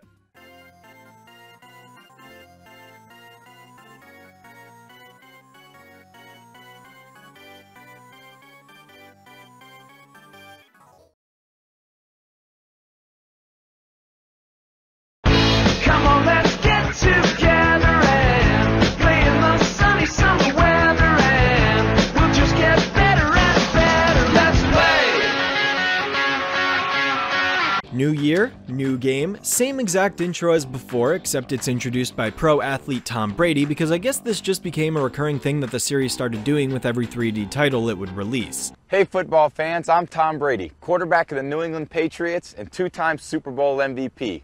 Welcome to Backyard Football. Get in the game and play. This time around, the Backyard Sports series has moved on to the next console generation as Backyard Football 2008 was released on not only PS2 and PC, but also the Nintendo Wii, which is the version I'm using for this video because I was curious to see how the motion controls would play out. So starting off, we've got a new menu screen once again, so it seems that the 2007 games were extremely short-lived because it was instantly replaced with this stationary and admittedly less interesting interface. It still works fine, but I kinda like the dynamic background that would rotate around the specific sports equipment, you know? There are still no extra minigames or side modes because I guess it's just impossible to come up with minigames for the sport of football. Seriously, I don't understand why the other big sports all got these extra side modes added, but backyard football was just like, nope, we can't have that. I don't know, personally speaking, a challenge where the player has to progressively make field goal kicks 10 yards further and further away from the goalpost sounds kinda interesting if you ask me, but hey, that's just one idea. The characters once again retain the same names as before, but they are not the same designs as pre-Humongous Inc. It is worth mentioning, however, that this game was actually developed by Farsight Studios for the first time. So if I had to guess, this probably has something to do with why the art style of the background kids changed, and we strayed away from the lanky teenagers that those 2007 games had. The models are fine, I guess, but and I cannot stress this enough. The Backyard Kids have seriously lost a lot of their personality over the years, just like people when they get to adulthood. You should pick me because I love to play all sports. Okay, I kid, I kid. But no, in all seriousness, these kids have become nothing more than empty shells. It used to be that each of them would have a distinct personality. I mean, you could literally get a perfect idea of exactly what they were like just by clicking on them on the bench and listening to a couple of lines that they had to say. The designs were varied and extravagant, the representation was incredible, and while the latter is still present here to a degree, it still can't compare to what those older games had. Even most of the console games managed to maintain most of their personalities when the designs did change, but I tell you what, as soon as Humongous Entertainment was dissolved, any sense of life and passion was sucked right out of this franchise, and that clearly shows with what we're looking at now. At the very least, I can say that the game plays fine, but I've been saying that about a lot of these more recent titles. Now, in my time playing this game, I found it to be pretty buggy, as I noticed several instances where a pass would be ruled incomplete despite the fact that I was clearly still in the field, and the character had received the pass no problem. It's a fake. Incomplete.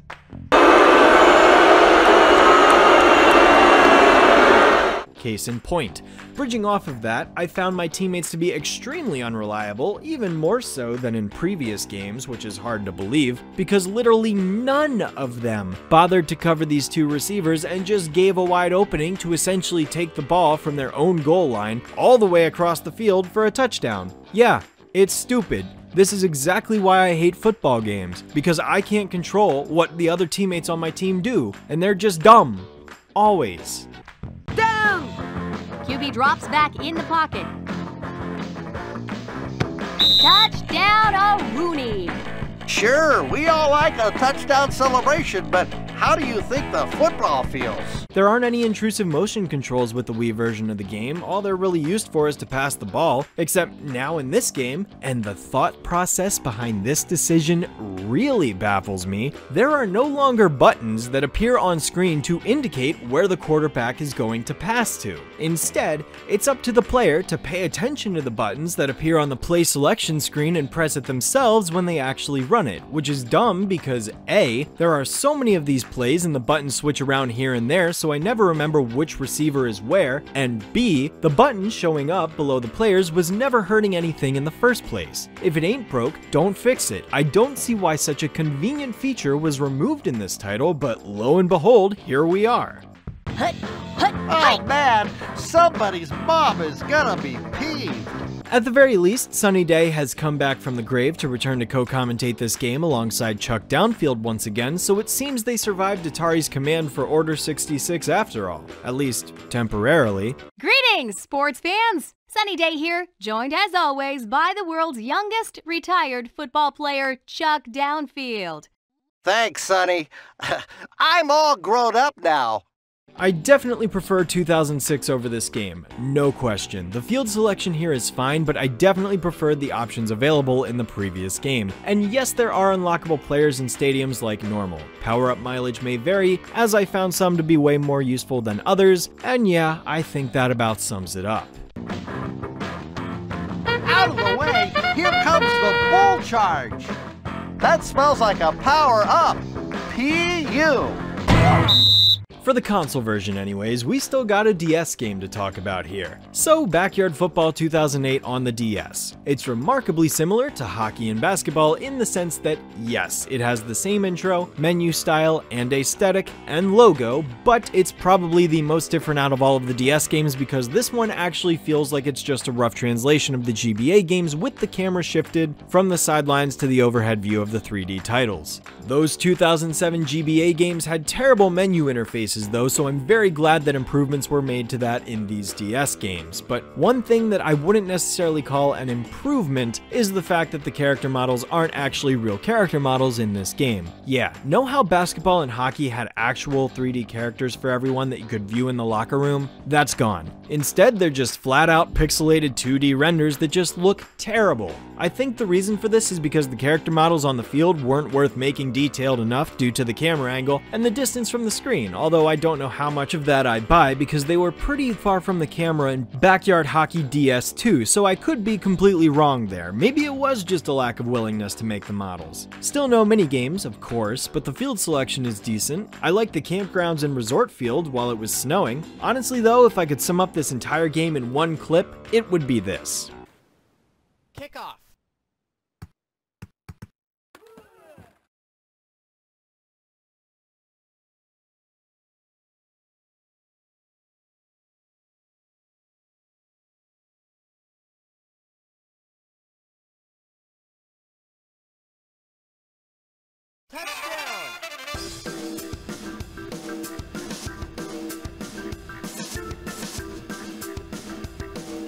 Actually, you know what?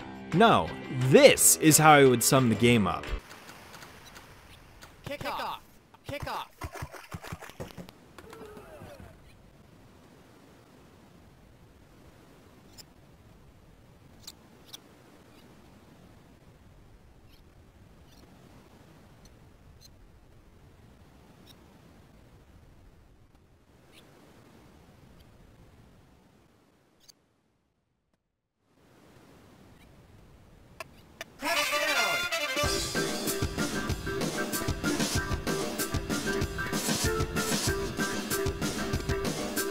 No joke, it is ridiculously easy to return a kickoff all the way for a touchdown if you use your sprint meter wisely because holy cow, that was nearly every drive I recorded footage for aside from like maybe two or three. The computer's AI is just terrible when it comes to defense. Probably the worst I've ever seen it. I mean, these guys don't ever stand a chance when I'm returning a kick. Probably 80% of the time, I would just run into the end zone and score a touchdown without even having to try. Of course, the AI for the defensive players is garbage on both sides as there really was no excuse for my own team members to not be able to tackle the opponent in several situations, but then again I've experienced this in practically every backyard football game, which is why I don't like them. I also never witnessed a single interception or incomplete pass in the DS version. It was as if the precision of throwing was perfect every single time, which was downright shocking to me. There was one big thing that happened though that I absolutely have to call this game out for though, and I feel like I've had a clip like this in the past three backyard football games, but hey, it continues here.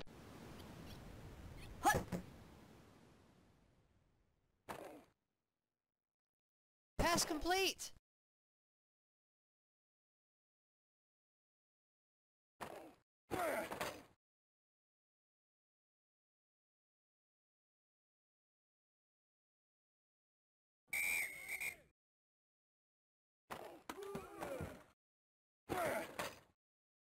Absolutely absurd. There is no way that the computer should have been able to avoid going down for that long. I mean, you can't convince me there wasn't any foul play going on there. The game is honestly a complete broken mess, just like the Wii version, and I can't recommend this one in good faith because of it. I mean, if you want to mess around and see what other ludicrous plays you can make occur, be my guest, but you're not going to have a very fulfilling experience with this one because it's just janky through and through. Hopefully seeing the footage on screen helps my case of this feeling like an exact translation of the GBA games, but from a different angle. I can't call it as lazy as the 2007 version because this game does do more to set itself apart, but I still have a sneaking suspicion this game still reused the same code as before, and I think I can make a case for that. Obviously, the game reuses assets from the GBA titles, what with the available plays and the field goal animations and things like that, but my sticking point for this is the way the characters behave whenever they score a touchdown. Now, I didn't bring this up when I discussed Backyard Football 2006 on the Game Boy Advance, but a weird thing that I did notice the first time I played it is that for some strange reason, whenever a player scores a touchdown, they run over to the center of the field while everybody else celebrates.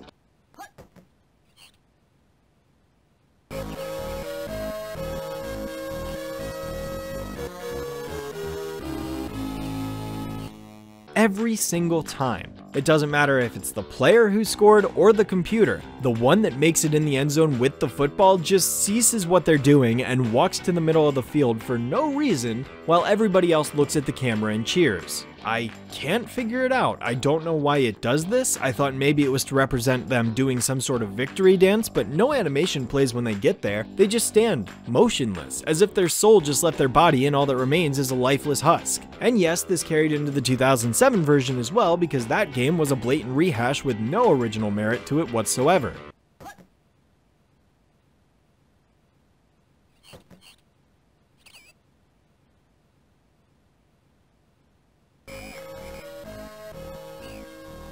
In the DS version of Backyard Football 2008, once again, they do the exact same thing, even though the game runs from a different camera angle.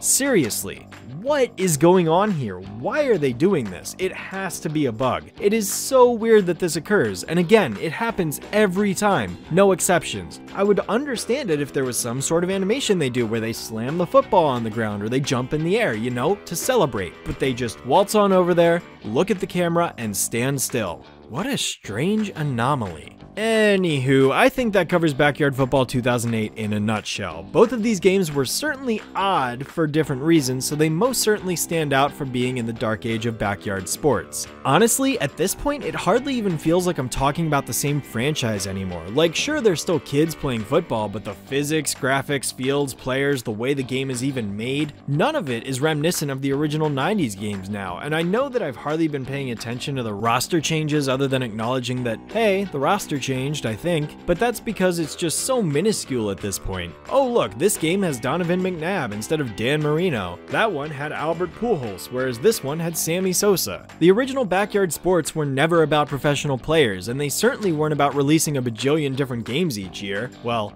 ironically, except for 2007, because all that came out during this year was Backyard Football 2008, but hey, I don't know. Hopefully this video has been doing an adequate job of showcasing showcasing just how badly Atari milked this franchise to death because I don't know what more I could possibly say to convince anyone at this point in the retrospective. Honestly, kudos to you for sticking this long into it. I'm impressed with your dedication to such a gargantuan project like this. I really didn't expect a lot of people to make it this far. But I suppose we should just carry on at this point. Only a few more years to go, so why don't we go ahead and take a look at what was made in 2008 for the sports year of 2009. Let's play a game, Sunny. Every time a team gets a first down, you have to eat a buffalo wing. Come on, it'll be fun.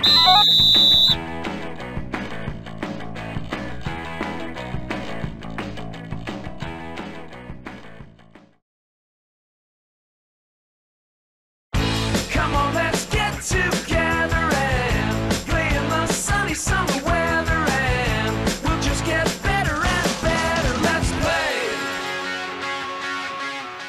Alright, so by this point in the retrospective, I just need to be honest with you. With the exception of one game, it's nothing but football and baseball from here on out. The actual variety in available sports games has completely plummeted as soccer, hockey, basketball, and skateboarding had been completely phased out of the franchise by this point in time. Honestly, the fact that I've only gone a little mad making it this far into this project is surprising to me. I would have thought I'd be losing it by now, but I've still managed to find things to talk about with each of these games, so let's just keep chugging right along and get into Backyard Baseball 2009 on the Wii, PS2, and PC. Right off the bat, I just gotta say that Backyard Baseball 2009 was such a pleasant surprise to me that, quite honestly, I'm in disbelief that I liked the game as much as I did. I mean, I actually found myself enjoying it after about 5 minutes or so. It completely destroys 2007 as a game in nearly every single aspect. The physics are better, the controls are better, the hitting is better, the pitching is better, the characters look more like kids and aren't these uncanny string beans that look like Mike Teavee after he was put in the taffy puller. Throwing to each base feels very reliable again, although actual base running still lacks the ability to run backwards, so once you press that run to the next base button, you have committed just like before, unless I'm missing something of course. The intro this time around is hosted by David Ortiz of the Boston Red Sox, but otherwise the intro is the same compressed flash animation as before, and features a similar menu to the console version of Backyard Football 2008 that was just discussed prior to this game. Hey, baseball fans. I am David Ortiz from the Boston Red Sox World Series champion. Welcome to Backyard Baseball. Get in the game and play. Farsight Studios once again took the helm for this one rather than GameBrains who developed 07, and boy am I glad for that. By no means am I saying that this is a good game, at most I would call it decent. But compared to some of the other titles I just had to witness, this is a much needed improvement. Still doesn't match Baseball 3D though, that remains the king of the 3D backyard baseball games, but I'd say this one's second best. So what does this game do that's new? Well, the Wii version features motion controls because that was a big gimmick with the new console, which is fine. It's only really used to swing, which was pretty responsive in my experience, so minimal complaint there. The game features Home Run Derby and Fielder's Challenge, which have just become mandatory requirements by this point, and Home Run Derby actually operates on some logical rules that makes it fun to play, what with it being based on outs rather than a number of pitches. The thing that gets me is that the actual Home Run Derby hosted by the MLB never operated on the logic that was used in the previous games with there only being three outs or a total of pitches and then a player swapped out. Back when these games were released, the rules of the Home Run Derby were always that a player had 10 outs per round and got to hit as many home runs as possible until they hit that benchmark. So strange that it took until Backyard Baseball 2009 to actually get it right.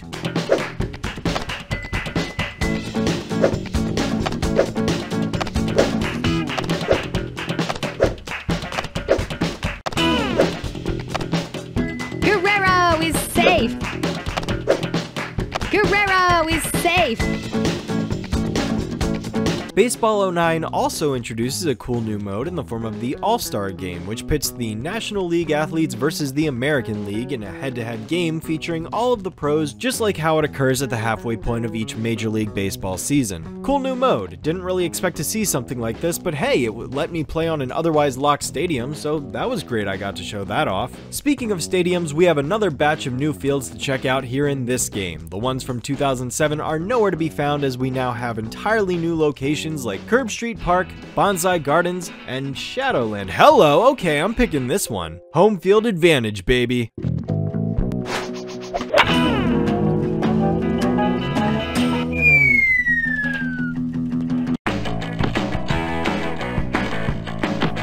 I will say one thing from 2007 that I wish was more explored here was the interactivity that could occur like in that shipyard level that I mentioned during 2007. I like the field choice, but I wish there was a bit more to them like the ones in the previous 3D title. Backyard Baseball 2009 also sees the return of Sunny Day commentating once again just like in Football 2008, and this time around instead of bringing in Abner double play or bringing back Vinny from whoever knows how long ago, we've got a new co-commentator in the form of Jack Fowler.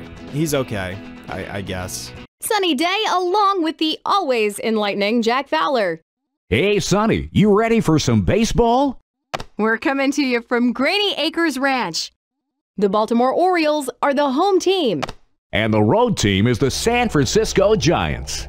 He's fine. I mean, at least he doesn't repeat Sunny's name every five seconds the way Abner did, but honestly, I really don't care. The only major bug I even encountered with this game was that I somehow managed to strike out after only two pitches in this one at bat. The next batter is Samantha Pierce.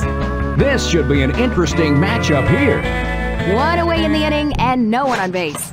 Got on top of that one.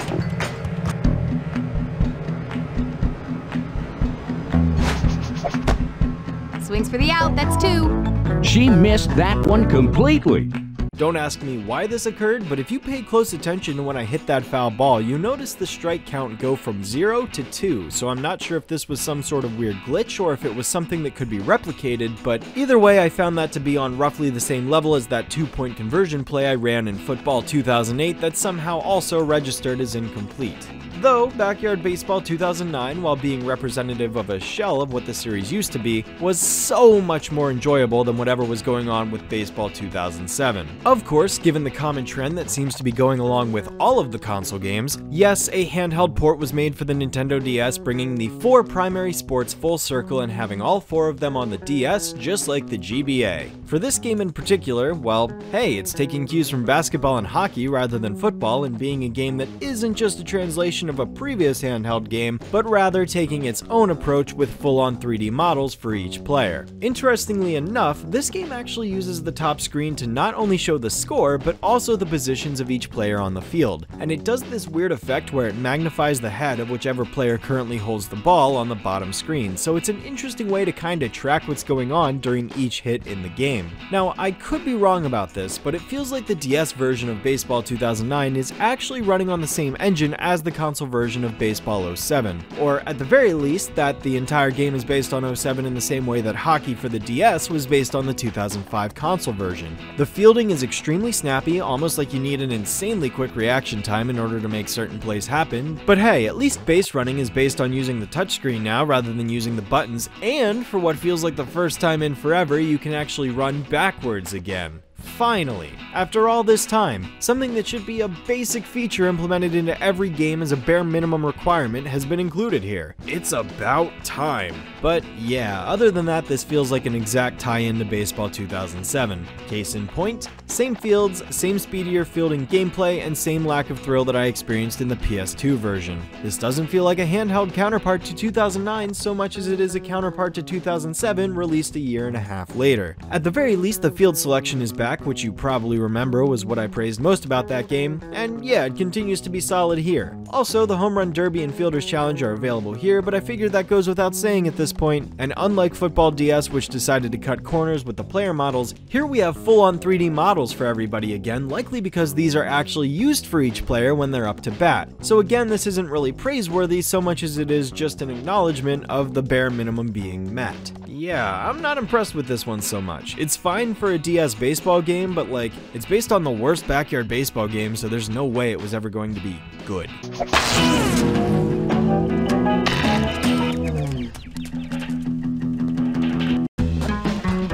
Overall, I can definitely recognize Baseball 2009 on the Wii as the superior version of the game. It's not great by any means, but it feels a little bit better than any of these other Dark Ages sports games. It's fun, probably something to mess around with maybe once in your life, but even still, it just doesn't compare to the titles of the previous generations. Still, I guess it's a bright spot in an otherwise dark era. That's a deep fly ball. Could go all the way.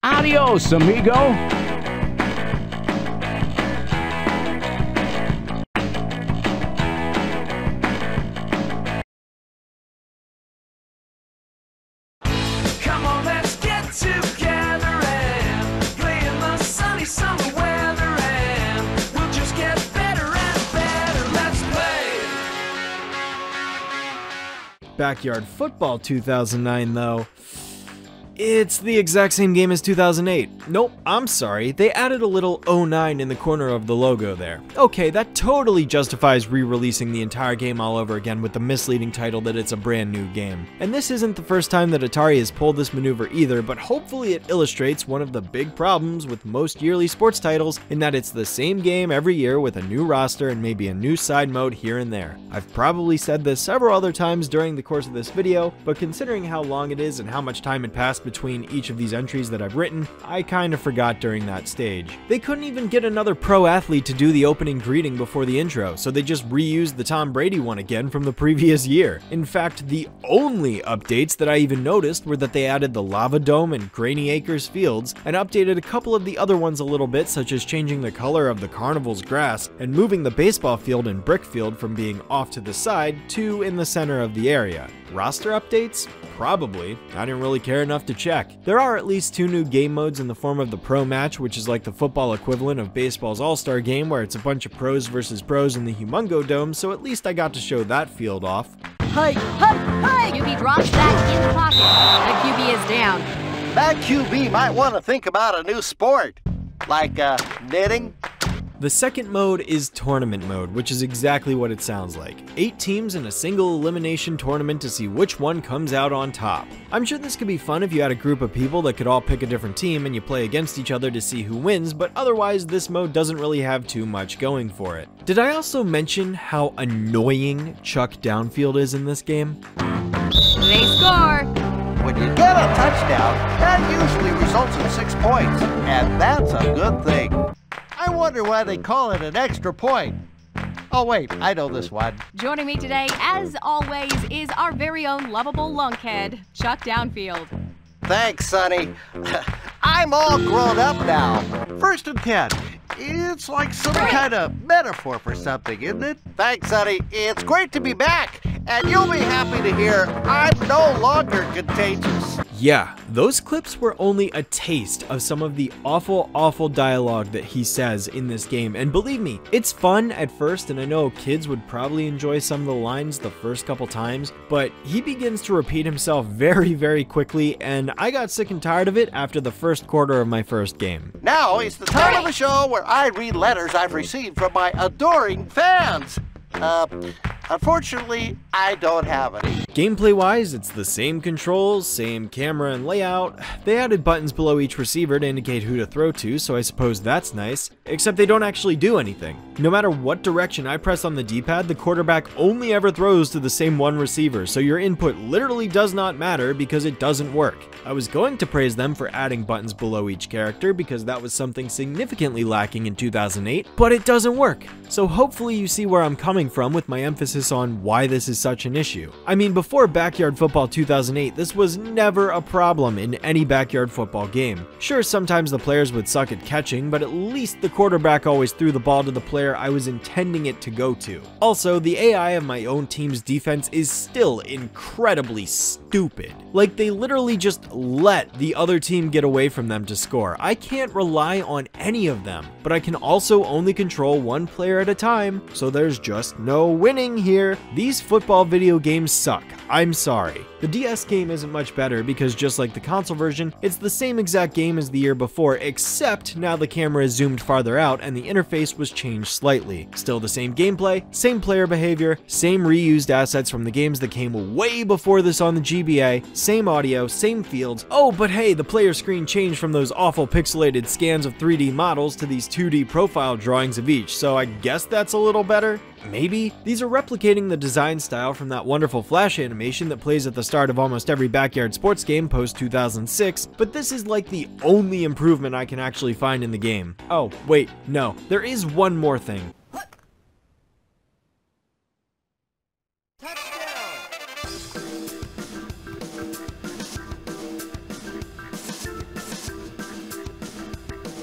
Yes, just like the previous two games when a player scores a touchdown, they do the exact same thing where they run to the center of the end zone for some arbitrary reason. But now, unlike the previous three games, they do a little victory dance. See? Look at him go! Totally worth publishing the exact same game again under a slightly different name to make it seem like it's a brand new experience. Kickoff.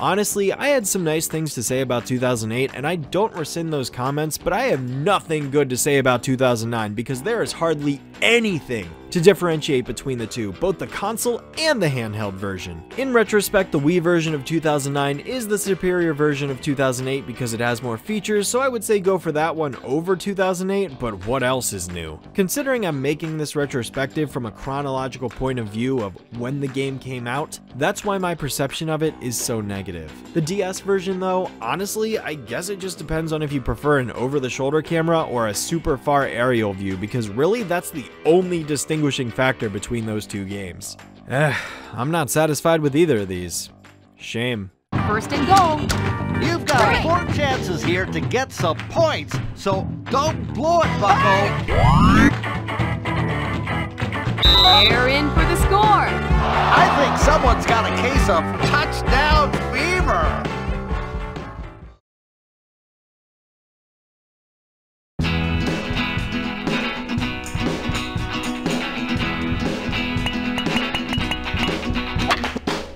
And bringing us into the year of 2009 comes just a few more backyard sports games. Believe it or not, we're actually reaching the tail end of the franchise here. We only have a couple more to go before the end. Crazy, right? Well, unfortunately, this section's gonna be a bit brief. I mean, the fact that this is the first time I'm combining 3D console games should be enough of an indication of that. Well, the reason for this is that all three of these are just more re-releases of the same games I've already talked about before. Backyard Baseball 2010 on the Wii is just Backyard Baseball 2009 on the Wii again, except now the castle is locked and the lava dome is accessible so I could finally show that field off. David Ortiz is still featured at the beginning and the user interface is cleaner. The only noteworthy changes are that the camera has changed to an over-the-shoulder angle to mimic how baseball is normally televised when in single player, and they added a former backyard baseball field in the form of Gator Flats from the first 3D baseball title, so at least that's a nifty callback to a previous game. Jack Fowler's voice was also changed to some random indistinguishable kid who's got nowhere near as much personality as Chuck Downfield in Football 08 and 09. I'm Sunny Day. Joining me, as always, is my good friend Jack Fowler. Hey, Sunny. Holy cats, do we have a great game today. Also, I swear they adjusted the batting sensitivity or timing window to hit the ball because it was not as difficult to get hits in the 2009 version of this game. I literally tested these back to back timing my swings and found that, yeah, I was getting way more hits in 2009 than 2010. Maybe it's just me, but I swear there's a difference here. Other than those minor changes though, it's the exact same game as before and the DS version of Baseball 2010 isn't much better. The biggest change is that the fields have been updated graphically so that there is more color and detail put into them, such as minor layout changes and added grass here and there. The game retains all of the fields from the previous title, but also has added fields like the Clover Hills Field and Curb Street Park stadiums. The user interface also received an overhaul too, which looks nice, and the voice clips of Sunny from the console game have replaced the previous announcer's commentary, which I also think is an improvement. Seriously though, the graphical quality got a major increase, so at least some effort was put somewhere. I will say, however, that the biggest change I noticed is that the hitting situation is the opposite of the console version.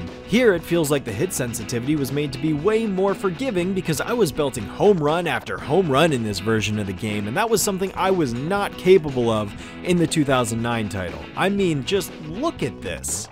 The pitch. Hit to left field.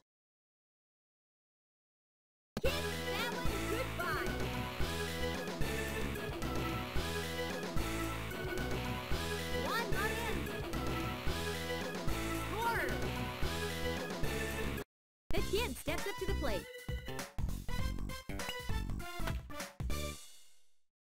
The pitch is on its way. And it's gone. The next kid steps up to the plate. The windup in the pitch. That one's hit to center. Get out of here! The next batter steps up.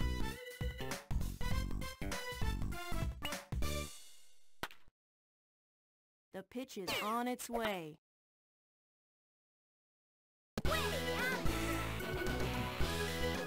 I was most definitely not capable of pulling that off in 2009, that's for sure. As with the console games, I even went back and played the previous one for comparison, and sure enough, it was much harder to hit the ball, so I'm convinced there was some sort of tweaking done to the games in that regard. I do want to go back to the graphical thing again though, because seriously, if you compare footage of 2009 right next to 2010, the difference in quality is night and day. It's almost like it advanced another console generation with how much better it looks. Seriously, my compliments go out to the people who actually bothered to spend time making the game look better, because 2009 looked terrible.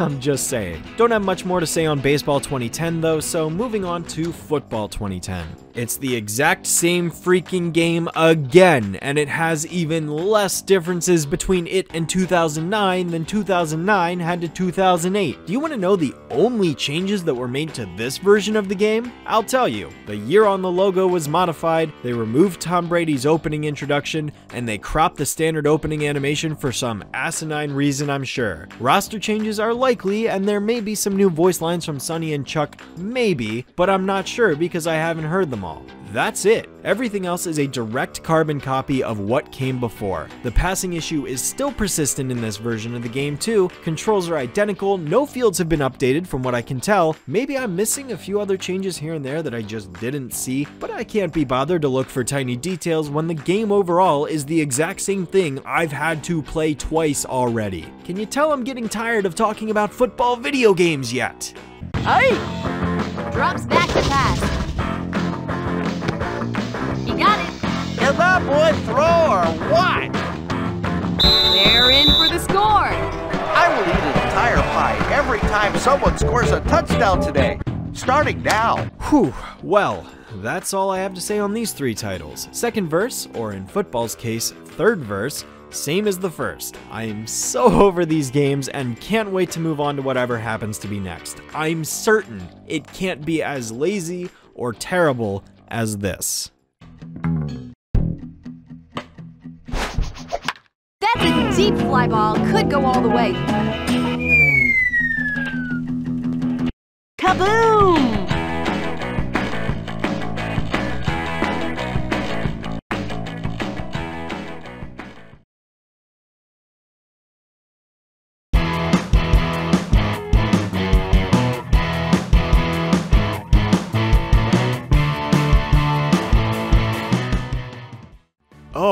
Pablo, what did they do to you? Oh my gosh, and the Weber twins, Tony, Dmitri. And so begins the fourth and final era of backyard sports, one I like to call the Identity Crisis era, although it's not a very large era seeing as it consists of a whopping six games total, four if you group in handheld titles with their console counterparts, spread five years in between each other. It's, uh, well, let's just say we're in for a bad time. Backyard Sports Sandlot Sluggers is the first of these titles in this final era of the Backyard Sports franchise, and I think the character designs alone already speak for what we're about to get into. I mean, how did this franchise go from this to this?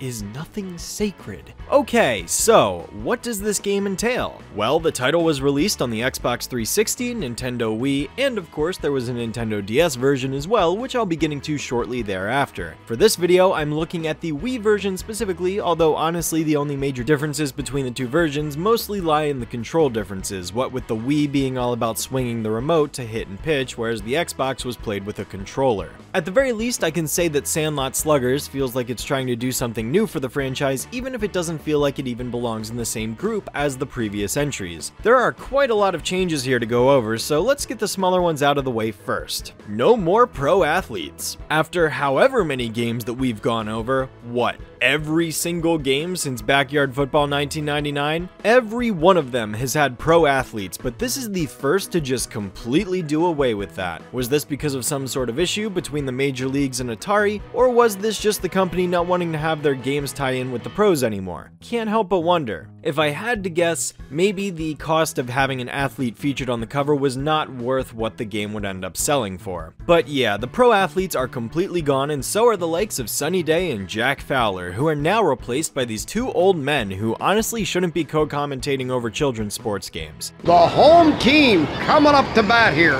in the bottom of the inning. The teams will switch sides for the bottom of the inning after Look, I'm not the kind of person to make the obvious jokes here, but like, who honestly thought that replacing a kid commentator with an elderly man was a good idea? Probably the same person that thought these designs were appealing, and that it was necessary to remove over half of the original cast and only leave a select few kids left in the game. Seriously, you wanna know how many of the original characters are here? Pablo, Dmitri, Tony, Vicki, the Weber twins, Kiesha, Joey, and Jorge are the only backyard kids in the game. Period. No more Achmed and Amir, no more Dante, no more Lisa. They're all gone, which may be a blessing in disguise. The game features a story mode for the very first time ever though, so why don't we check out the opening cutscene and get an idea of what this is all about. It was a dark and stormy night. Igor had broken out of captivity. Ron, Ron, focus. Let me wait, begin. Wait, I got it. Call me Ishmael. You done now? It all started one perfect afternoon at Meadowbrook Field. Oh, I love this story. Are you gonna stop interrupting me? Maybe. Oh man, that's bad. Well, this particular day at Meadowbrook brought a new set of kids to the neighborhood, led by none other than Jimmy Winthorpe Knuckles. The notorious bully? That's right. He was the biggest bully ever. Anyway, he was no fun to play with. He used to bully the other kids and thought that the point of baseball was only to win. What did the other kids do? Tragically, they eventually no longer played in their backyards. Baseball began to quickly disappear from the neighborhood, maybe forever. Yes, the entire story mode of this game is based around this bully who bullied everyone into not playing baseball anymore. Okay, well then, how do we go about taking down this bully then? This new kid quickly realized that all the other neighborhood kids would have to join forces to beat those bullies at their own game. Slowly, a team began to form. Not so fast. He had to prove to him he was up to the challenge. By beating them at their own game. You're serious. You mean to tell me that this kid bullied everyone into not playing baseball, so in order to solve the problem, we need to beat all of the other neighborhood kids at baseball so that they will join our team and defeat the bully in a game of baseball? What happened to the part where the kids were too scared to play baseball anymore? Was that just forgotten about despite it being the crucial detail that the entire conflict of this story hinges on? And why do we need to beat the other neighborhood kids first in order to convince them to join our team to beat the bully? What do we have to prove? Just have everyone team up, beat the pulp out of this wannabe kid, problem solved. Okay, obviously I'm reading a bit too deep into this, but when the entire story mode is hunched around such a simple, straightforward premise, and yet it can't even abide by like the one important conflict that it set up, come on, you gotta call that out. But yeah, the story mode is as simple as that. Beat all the other kids, then take down the bully, case closed. The other big feature is that for the first time in forever, the minigames have finally been updated. Home Run Derby and Fielder's Challenge are no more. Instead, now we have five new minigames available to play with up to four players. Of course, I don't have friends, so I played this by myself against all the other computers, so the five minigames consist of dingers, which, okay, yeah, it's just still the home run derby, so I guess that's not gone after all. There's also breakout, where you need to smash the different colored targets in order to score points, which is fine enough. There's this pickle game, where all you do is shake the Wiimote as fast as you can to try and either score or tag the runner out before they do. It was fun, but really simple. Fourth is the Simon Says game, just throw the color-coded pitch at the block first and you score a point. And finally, there's Hot Potato, where each player needs to keep the ball away from themselves before it goes off. Yeah, none of these are particularly amazing, but hey, at least they're trying something different, and they all function fine, so by all means, that's of note. The actual gameplay though? Yeah, not much has changed between this and the last game, because lo and behold, it's baseball. It's not like the rules of the sport are ever altered drastically. You still use motion controls to pitch and throw, obviously on the Xbox version these are replaced with buttons. You can choose the swing and pitch types as before, there are power-ups, same old, same old.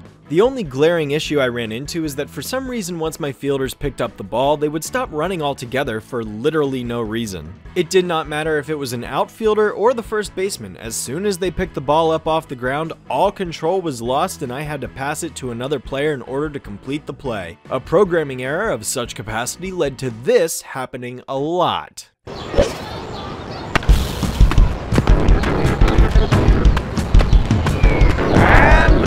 Safely at first. And all I can do is roll my eyes at this point. When this video is over, I don't want to play another baseball game for a long, long time. And football, and basically any sports game at all. FIFA, 2K, Madden? No thanks, I'll stick to more creatively driven games, thank you very much. I'm tired of this crap. Last but not least, I guess the field selection is decent. The quantum field, which looks nothing like it did previously, is just pollution central now. That's exciting, I guess. Don't let Captain Planet see this place or he might have an aneurysm. But no, in all seriousness, the field selection is fine. I'm just really tired by this point. But what about the DS game? Surely that could be better, right? It all started one perfect afternoon at Meadowbrook Field. Oh, I love this story. Are you going to stop interrupting me? Maybe. Yeah, no.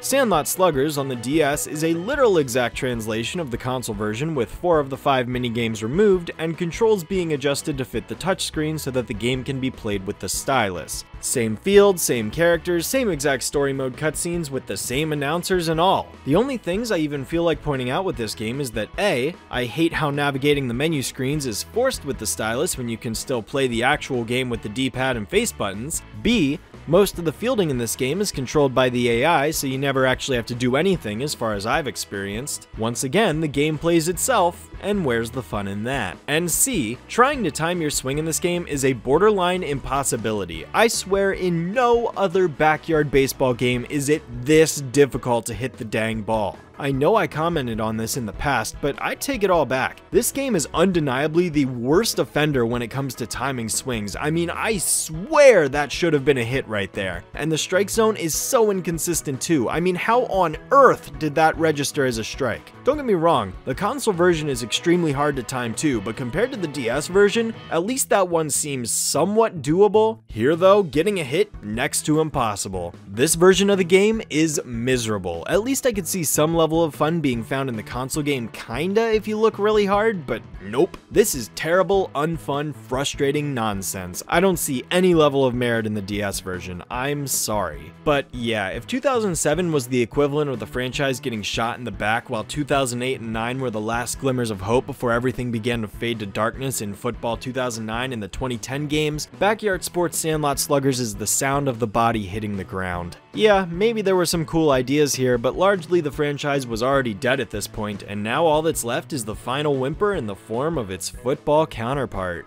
Oh boy.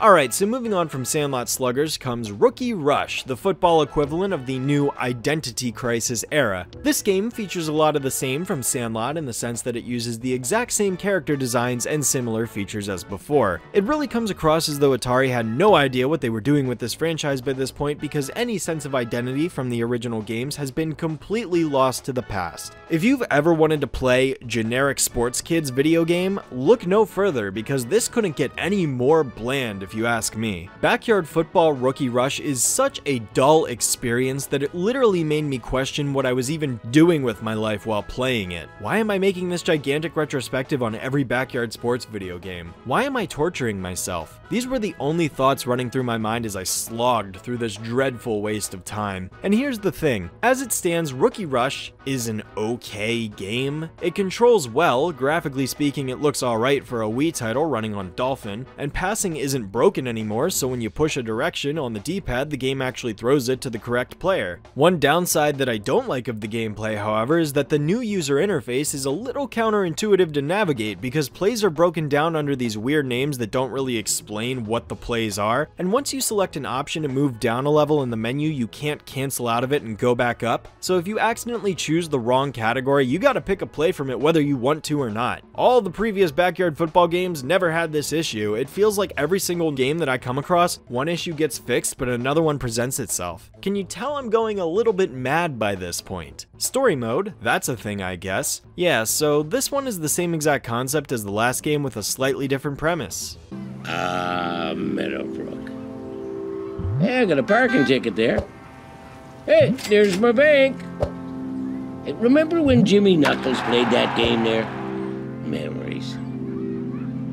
Don't eat there. You know, if we ever actually get to the premise of the game. Once the dust had settled on Dmitri, the kids saw the flyer announcing Phineas's Fantastic Football Fun Fair. The grand prize was not only the coveted Phineas Cup, but being on the cover of the newest backyard sports video game.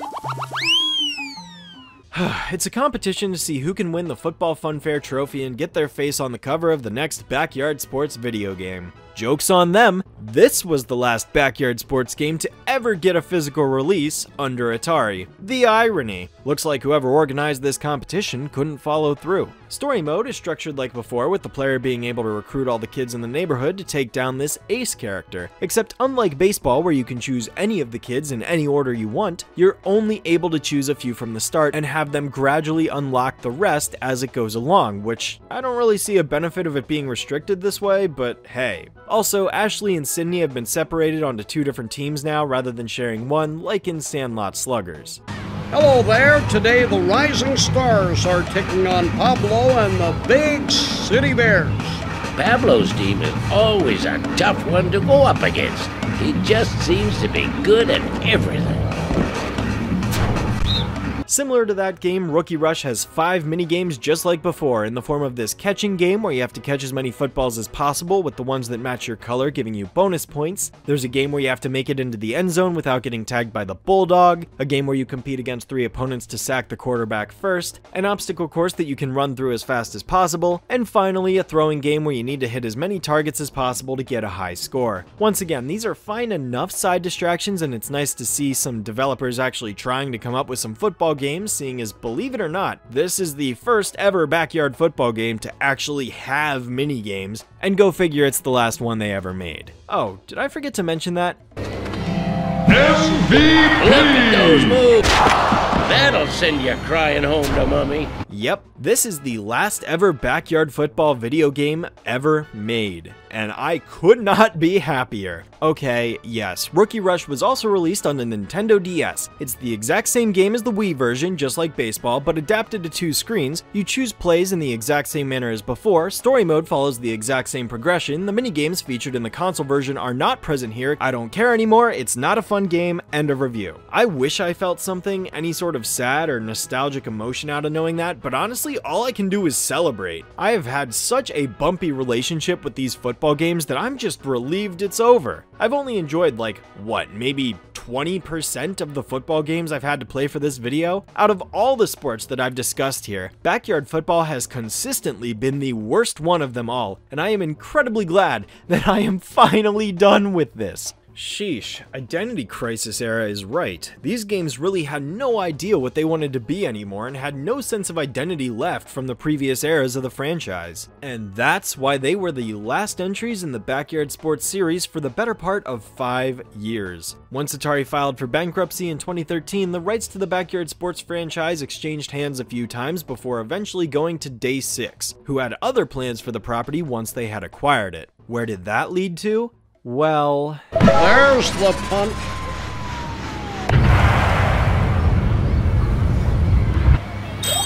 Deep freeze. It's cold up oh there. Gets clear.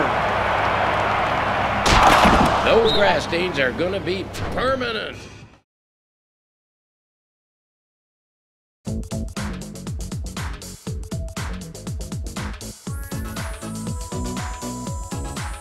Following the release of Backyard Sports Rookie Rush came a five-year dormancy as I said, as the parent company Atari had filed for bankruptcy and sold the property off to the Evergreen Group, who then immediately sold it to the Day 6 Sports Group not long after. The next and final two games I'm going to be looking at in this last section of my video will be covering these titles, but I do want to at least acknowledge the announcement of the theatrical film in 2016 first, because yes, somehow people thought this franchise was capable of serving as the basis for a cinematic release. Don't ask me how or why, it sounds like a terrible idea and I can't imagine it would be very good. But somebody thought it was a good idea. Unfortunately, ever since the initial announcement, nothing has ever come of it, so for all we know, this project is dead in the water. It could very well come back someday in the future after this video is finished and released, but as somebody who just witnessed this entire franchise from beginning to end, take it from me when I say nobody needs this. Alright, so Backyard Sports Baseball 2015 and Backyard Sports NBA Basketball 2015, both released for iOS and Android devices before inexplicably being taken down from digital stores without word or warning so that they are no longer able to play unless you go find the appropriate files, installer, and possibly an emulator for yourself elsewhere out there on the internet. I'll be upfront with you all. No matter how hard I tried to get these games to install on my phone so that I could play them for myself, I just couldn't pull it off. After lots of roundabout steps that I did not have to perform the last time I did a video on mobile games, the farthest I could get with it was the choose your avatar and name screen where it unfortunately cropped itself in a way that I was unable to scroll down and press continue. I could choose one of the top three avatars on screen, but that's all I could do, meaning all of the footage you're about to see is taken from the following YouTube channels that I'm showing on screen now. As such, this also means I do not have any experience actually playing these games for myself, so I can only go off of what I've seen rather than played. That said, I feel that the term Identity Crisis Era is a perfect fit for these two games just like the previous ones because my lord, how did we get to this point? Regardless, it seems that a lot of the same backyard kids return here once again. Dante Robinson is one who's actually returned from the grave. The Weber twins, Pablo, yeah, they're all here along some other MLB or NBA All Stars, but there's a far smaller selection than what there was previously, and most of the pros need to be bought as microtransactions because that's the nature of mobile games and is a big reason why I don't play them. Both apps feature similar user interfaces, which look fine enough for a mobile game, but surprisingly, they only feature four courts or fields each, and they're the same locations for both games Boardwalk, Scrapyard, Steel, and Weber Estate. No, not Steel Stadium, just Steel. I don't know what that means. I get it's a callback to the first backyard baseball game, but like, why is it just called Steel? Gameplay wise, basketball seems fine, it's just the same game as before, but with touchscreen controls where you drag the player across the court with your finger and tap to pass or shoot. Baseball, you do similar actions by tapping to pitch and swiping to swing. Very basic, bare bones gameplay that honestly just feels like a higher resolution version of the Nintendo DS games, if I'm being honest, only on one screen. There's also a. well, uh. Hmm. Okay, I think I've officially run out of things to say about the backyard sports games, so that's probably a sign that I should end things off. Sorry if it felt like I've barely spent any time on these games at all, but what more can I really say? They seem fine, but I don't enjoy mobile games, and just watching this footage I know I wouldn't have fun with it. I've subjected myself to enough torture as it is, so I'm just ready to be done with the franchise at this point. Sucks that we have to end on such an anticlimactic note, but hey, the franchise had already been buried 6 feet underground at this point, and this was a feeble attempt at bringing it back to life. Good riddance, I say. Two points. And that's the game. Final score. well, that was one bumpy ride, wasn't it? Over 50 backyard sports games in existence, and I just finished covering them all. Let this video stand as a testament that I am, indeed, insanely dedicated to this humongous entertainment project, despite the fact that I doubt very many people have even made it this far. But hey, I made this not to only say that I did, but also to be the first person to do it, and that alone was a driving factor that continued to push me through this, no matter how much of a slog some of these games could be at times. Do I have any regrets? Mm, no, but you better believe me, I will never do something like this ever again because it was not worth it, and I doubt it ever will be even if I made a million dollars off of this video. But at least I can relax knowing that my Humongous Entertainment retrospective series is nearing its completion. As of this point, I have officially talked about every single video game Humongous Entertainment has ever released, but honestly, if I ended the series here, that would kind of be a bit of a disappointing and downer note to end on. I mean, I feel drained after having gone through this, and that's not the kind of way I want to end this series. This is meant to be a celebration of the company that made the lives of many 90s and early 2000s kids all the better, not a reflection on how awful Atari was and how they completely butchered an otherwise wholesome franchise. As such, I'll not be concluding this retrospective series here and now, and instead ending it off on one final celebratory wrap-up video in which I will be ranking every single junior adventure game that Humongous had ever released.